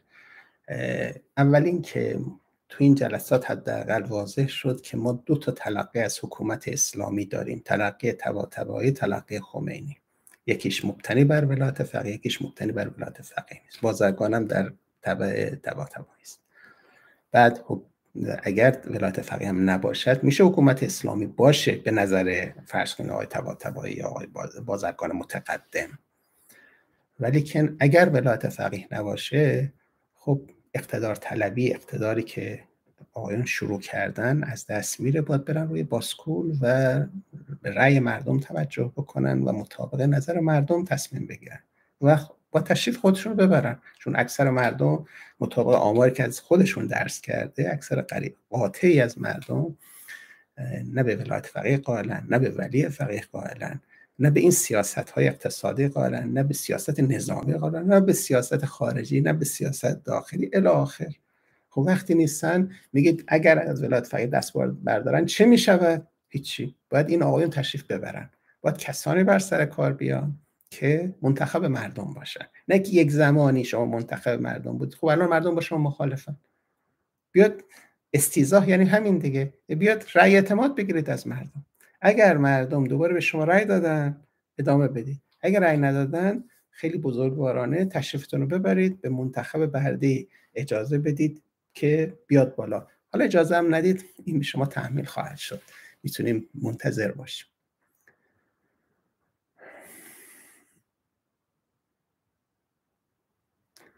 مقایسه نظر بازرگان و مصدق رو پرسیدن. خب در عمل بازرگان مصدقی بود. خودش هم ذکر می‌کرد. همیاره من به مش مصدق وفادار دکتر مصدق وفادار هستم. اما مصدق در سیاست دین رو دخالت نمی‌داد. در عمل مسلمان متدینی بود. وجوهات شرعیه می پرداخت اهل نماز بود. همه مواردش به جای خودش. اما در سیاست ورزی کاری به دین نداشت. یعنی شبیه بازرگان متأخر بود. به بیان دیگر بازرگان متقدم اگر به مقتدای سیاسی خودش مرحوم مصدق هم عنایت می‌کرد باید زودتر تجدید نظر می‌کرد. اینو با شما موافق هست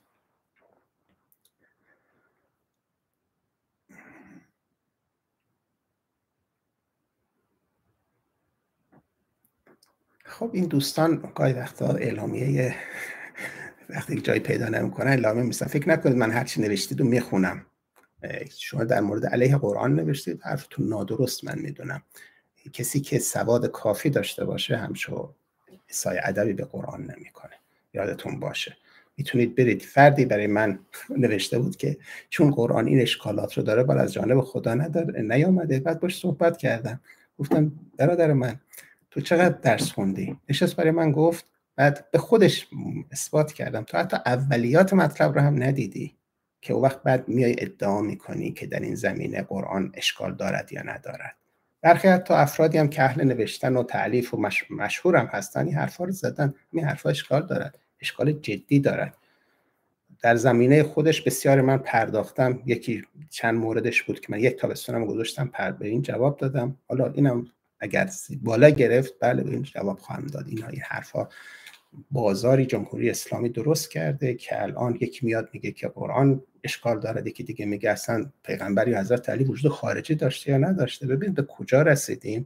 و فکر می‌کنیم که نیست وقت سیاست بیاد در دین دخالت بکنه نتیجهش همین افراد تفریط است که مشاهده می‌کنیم. از یک کتاب در مورد دروغ پرسیدن که من با کتاب آشنا نیستم. نسبت حکومت در زمان پیامبر و امام علی رو با دین چطور ارزا می‌کنیم یه سال خوبیه.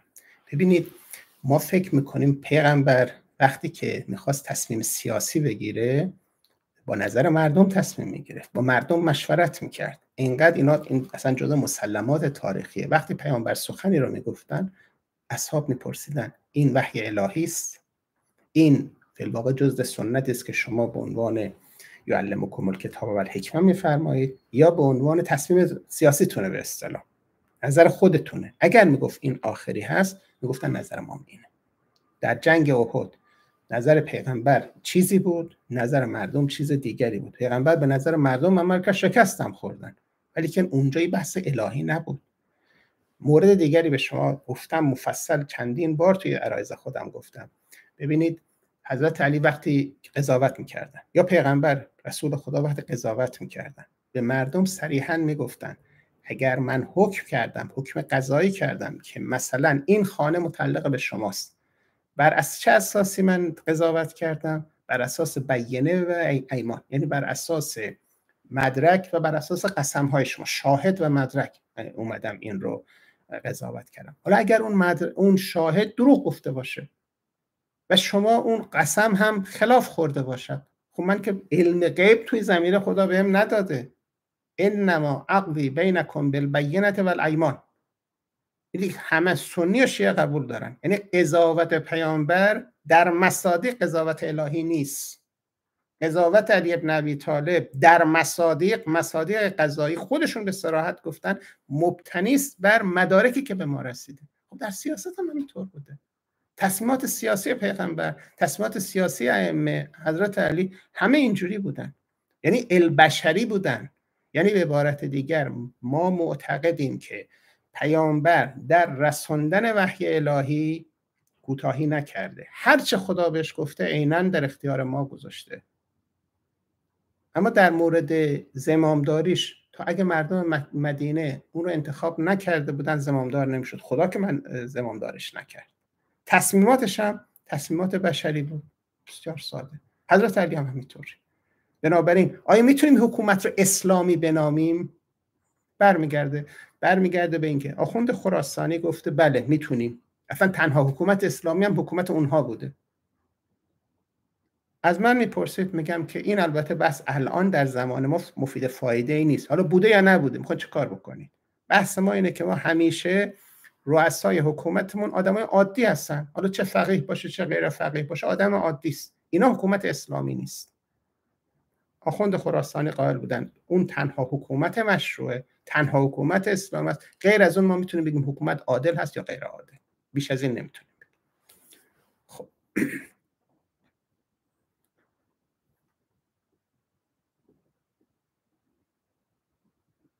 در مورد این که حالا دوستان و طرفداران مرحوم بازرگان در عمل چه در سیاست ورزی چه می‌کنند؟ سیاست ورزی حوزه بحث من نیست. من حوزه بحثم مسائل دینی و فلسفی است. و سیاست ورزی رو گذاشتم کنار. اگر در سیاست هم بحث می‌کنم از فلسفه سیاسی دارم صحبت می‌کنم. این اکثر اونها هم از دوستان بسیار مقابل احترام من هستن. یکی از اتهامات من هم در دادگاه ویژه روحانیت این بود که می‌گفتن شما آخوند نهضت آزادی شدی. گفتم خب حالا شدم. چه مشکلی دارم؟ می‌گفتم بنده اگر بخوام دوستی انتخاب بکنم بهترینشون از همین اعضا هستن. به خاطر اینکه هم در تقواشون تردیدی ندارم در خلوصشون تردید ندارم. بحث علمی می‌کنیم. اینها همشون به خصوص هم مرحوم مهندس بازرگان مرحوم مهندس صحابی مرحوم دکتر صحابی مرحوم آقای خالقانی اینا همه از بزرگان تفکر معاصر بزرگان خلاصه اندیشه سیاسی معاصر هستن و به ما خدمت کردن. باقی مونده هم کسانی هستن که من همشون رو جز اصله زمانه خودمون می‌دونم. یعنی جز صالح ترین فعالان سیاسی در دوران خودمون می‌دونم. بله.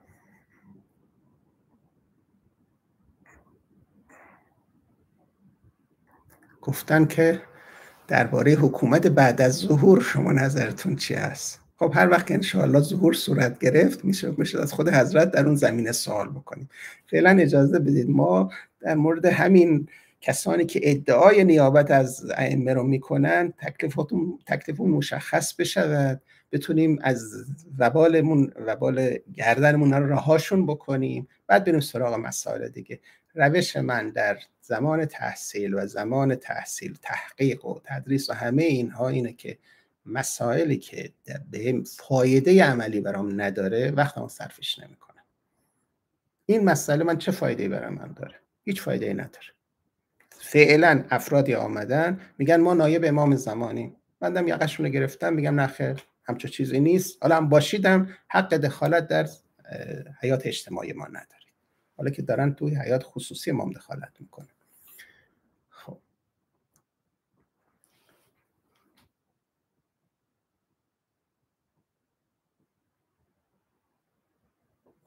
خب در مورد آراء مرحوم بازرگان پرسیدن که آیا ایشون درس دین خونده یا نظرش برگرفته از دین بدونه؟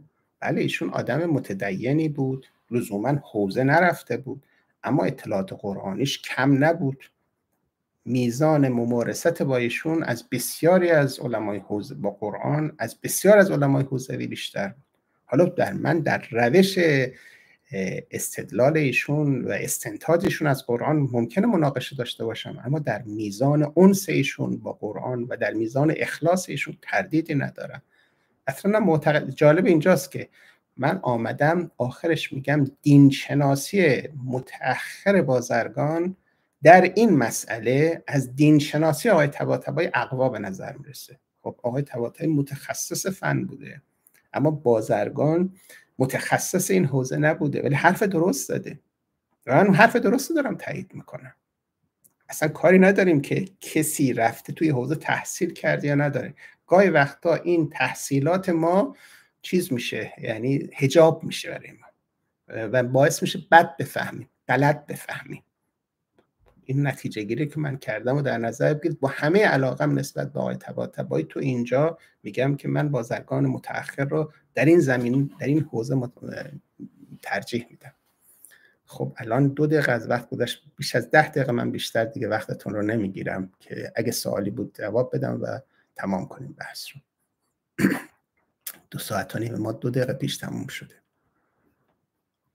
خب. پرسیدن آیا بازرگان در نهایت به سکولاریسم سیاسی به معنای جدایی نهاد دین از سیاست اعتقاد پیدا کرد؟ خب من دقیق تر می‌پرسم میگم این رو. بگید جدایی نهاد دین از دولت. این دوتا با هم تفاوت می‌کنه. سیاست دین بالاخره به لامحاله درش تاثیر داره. اما بحث دولت چنین نیست. آیا رسید بازرگان به این؟ به نظر من بله. اما به نظر پیروان سیاسی ایشون خیر. حالا شما می‌تونید دو تا نظر رو انتخاب بکنید. هر کدام اینها ببینید کدامش بیشتر دلیل داره.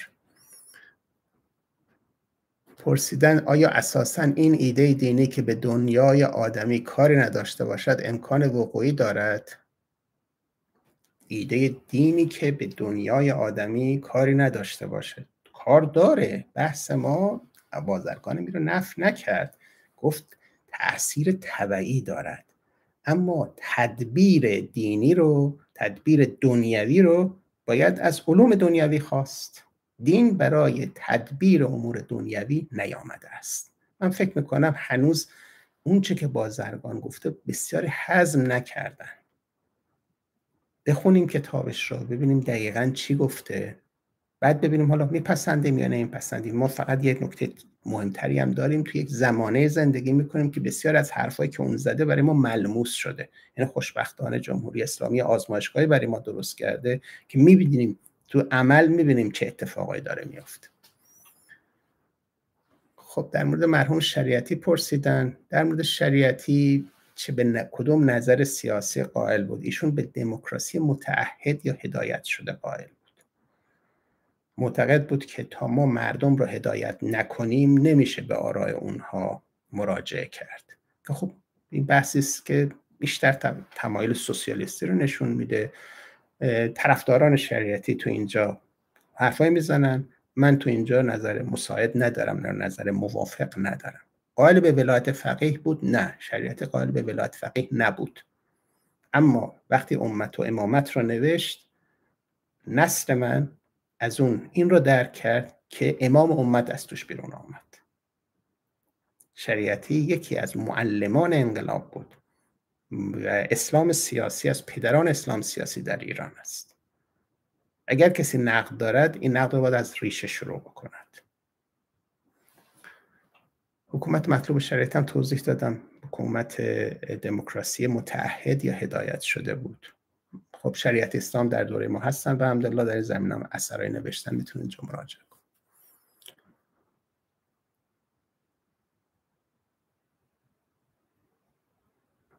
دوباره از پرسیدن یا دوباره این, این سال من جواب دادم که درس دین خونده یا نخونده.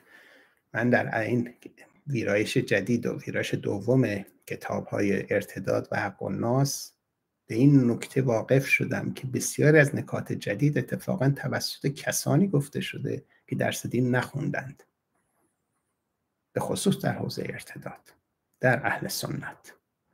سالها اینا دهه ها زودتر از بسیاری از علمای دین به یک نکاتی رستن که بعد علمای دین فقها دیدن اون حرف حساب می‌زنن. لذا من بسیار الان متواضعانه تر نسبت به کسانی که دروس دینی هم نخوندن نظر میدم. یک از آقای بازرگان بازرگان در این مسئله با اینکه درس دین نخونده اما حرفای زده که فقها متکلمین باید بیان ازش یاد بگیرن و من به نظرم حرف بسیار مهمی است خب این عرایز من تمام شد. سوالایی که برای من فرستاده شده تمام شد و خدمت شما که عرض بکنم این سخنرانی در کانال تلگرام و بقیه شبکه اجتماعی من قرار می‌گیره. می‌تونید حالا هم که فرصت نکردند در به حضوری شرکت بکنن به اونجا مراجعه بکنن. از صبر و حوصله همه شما سپاسگزارم. از اینکه وقت گرفته شد عذرخواهی می‌کنم. خدا رو شما رو به خدای بزرگ میسپارم. و سلام علیکم و رحمت الله و برکاته.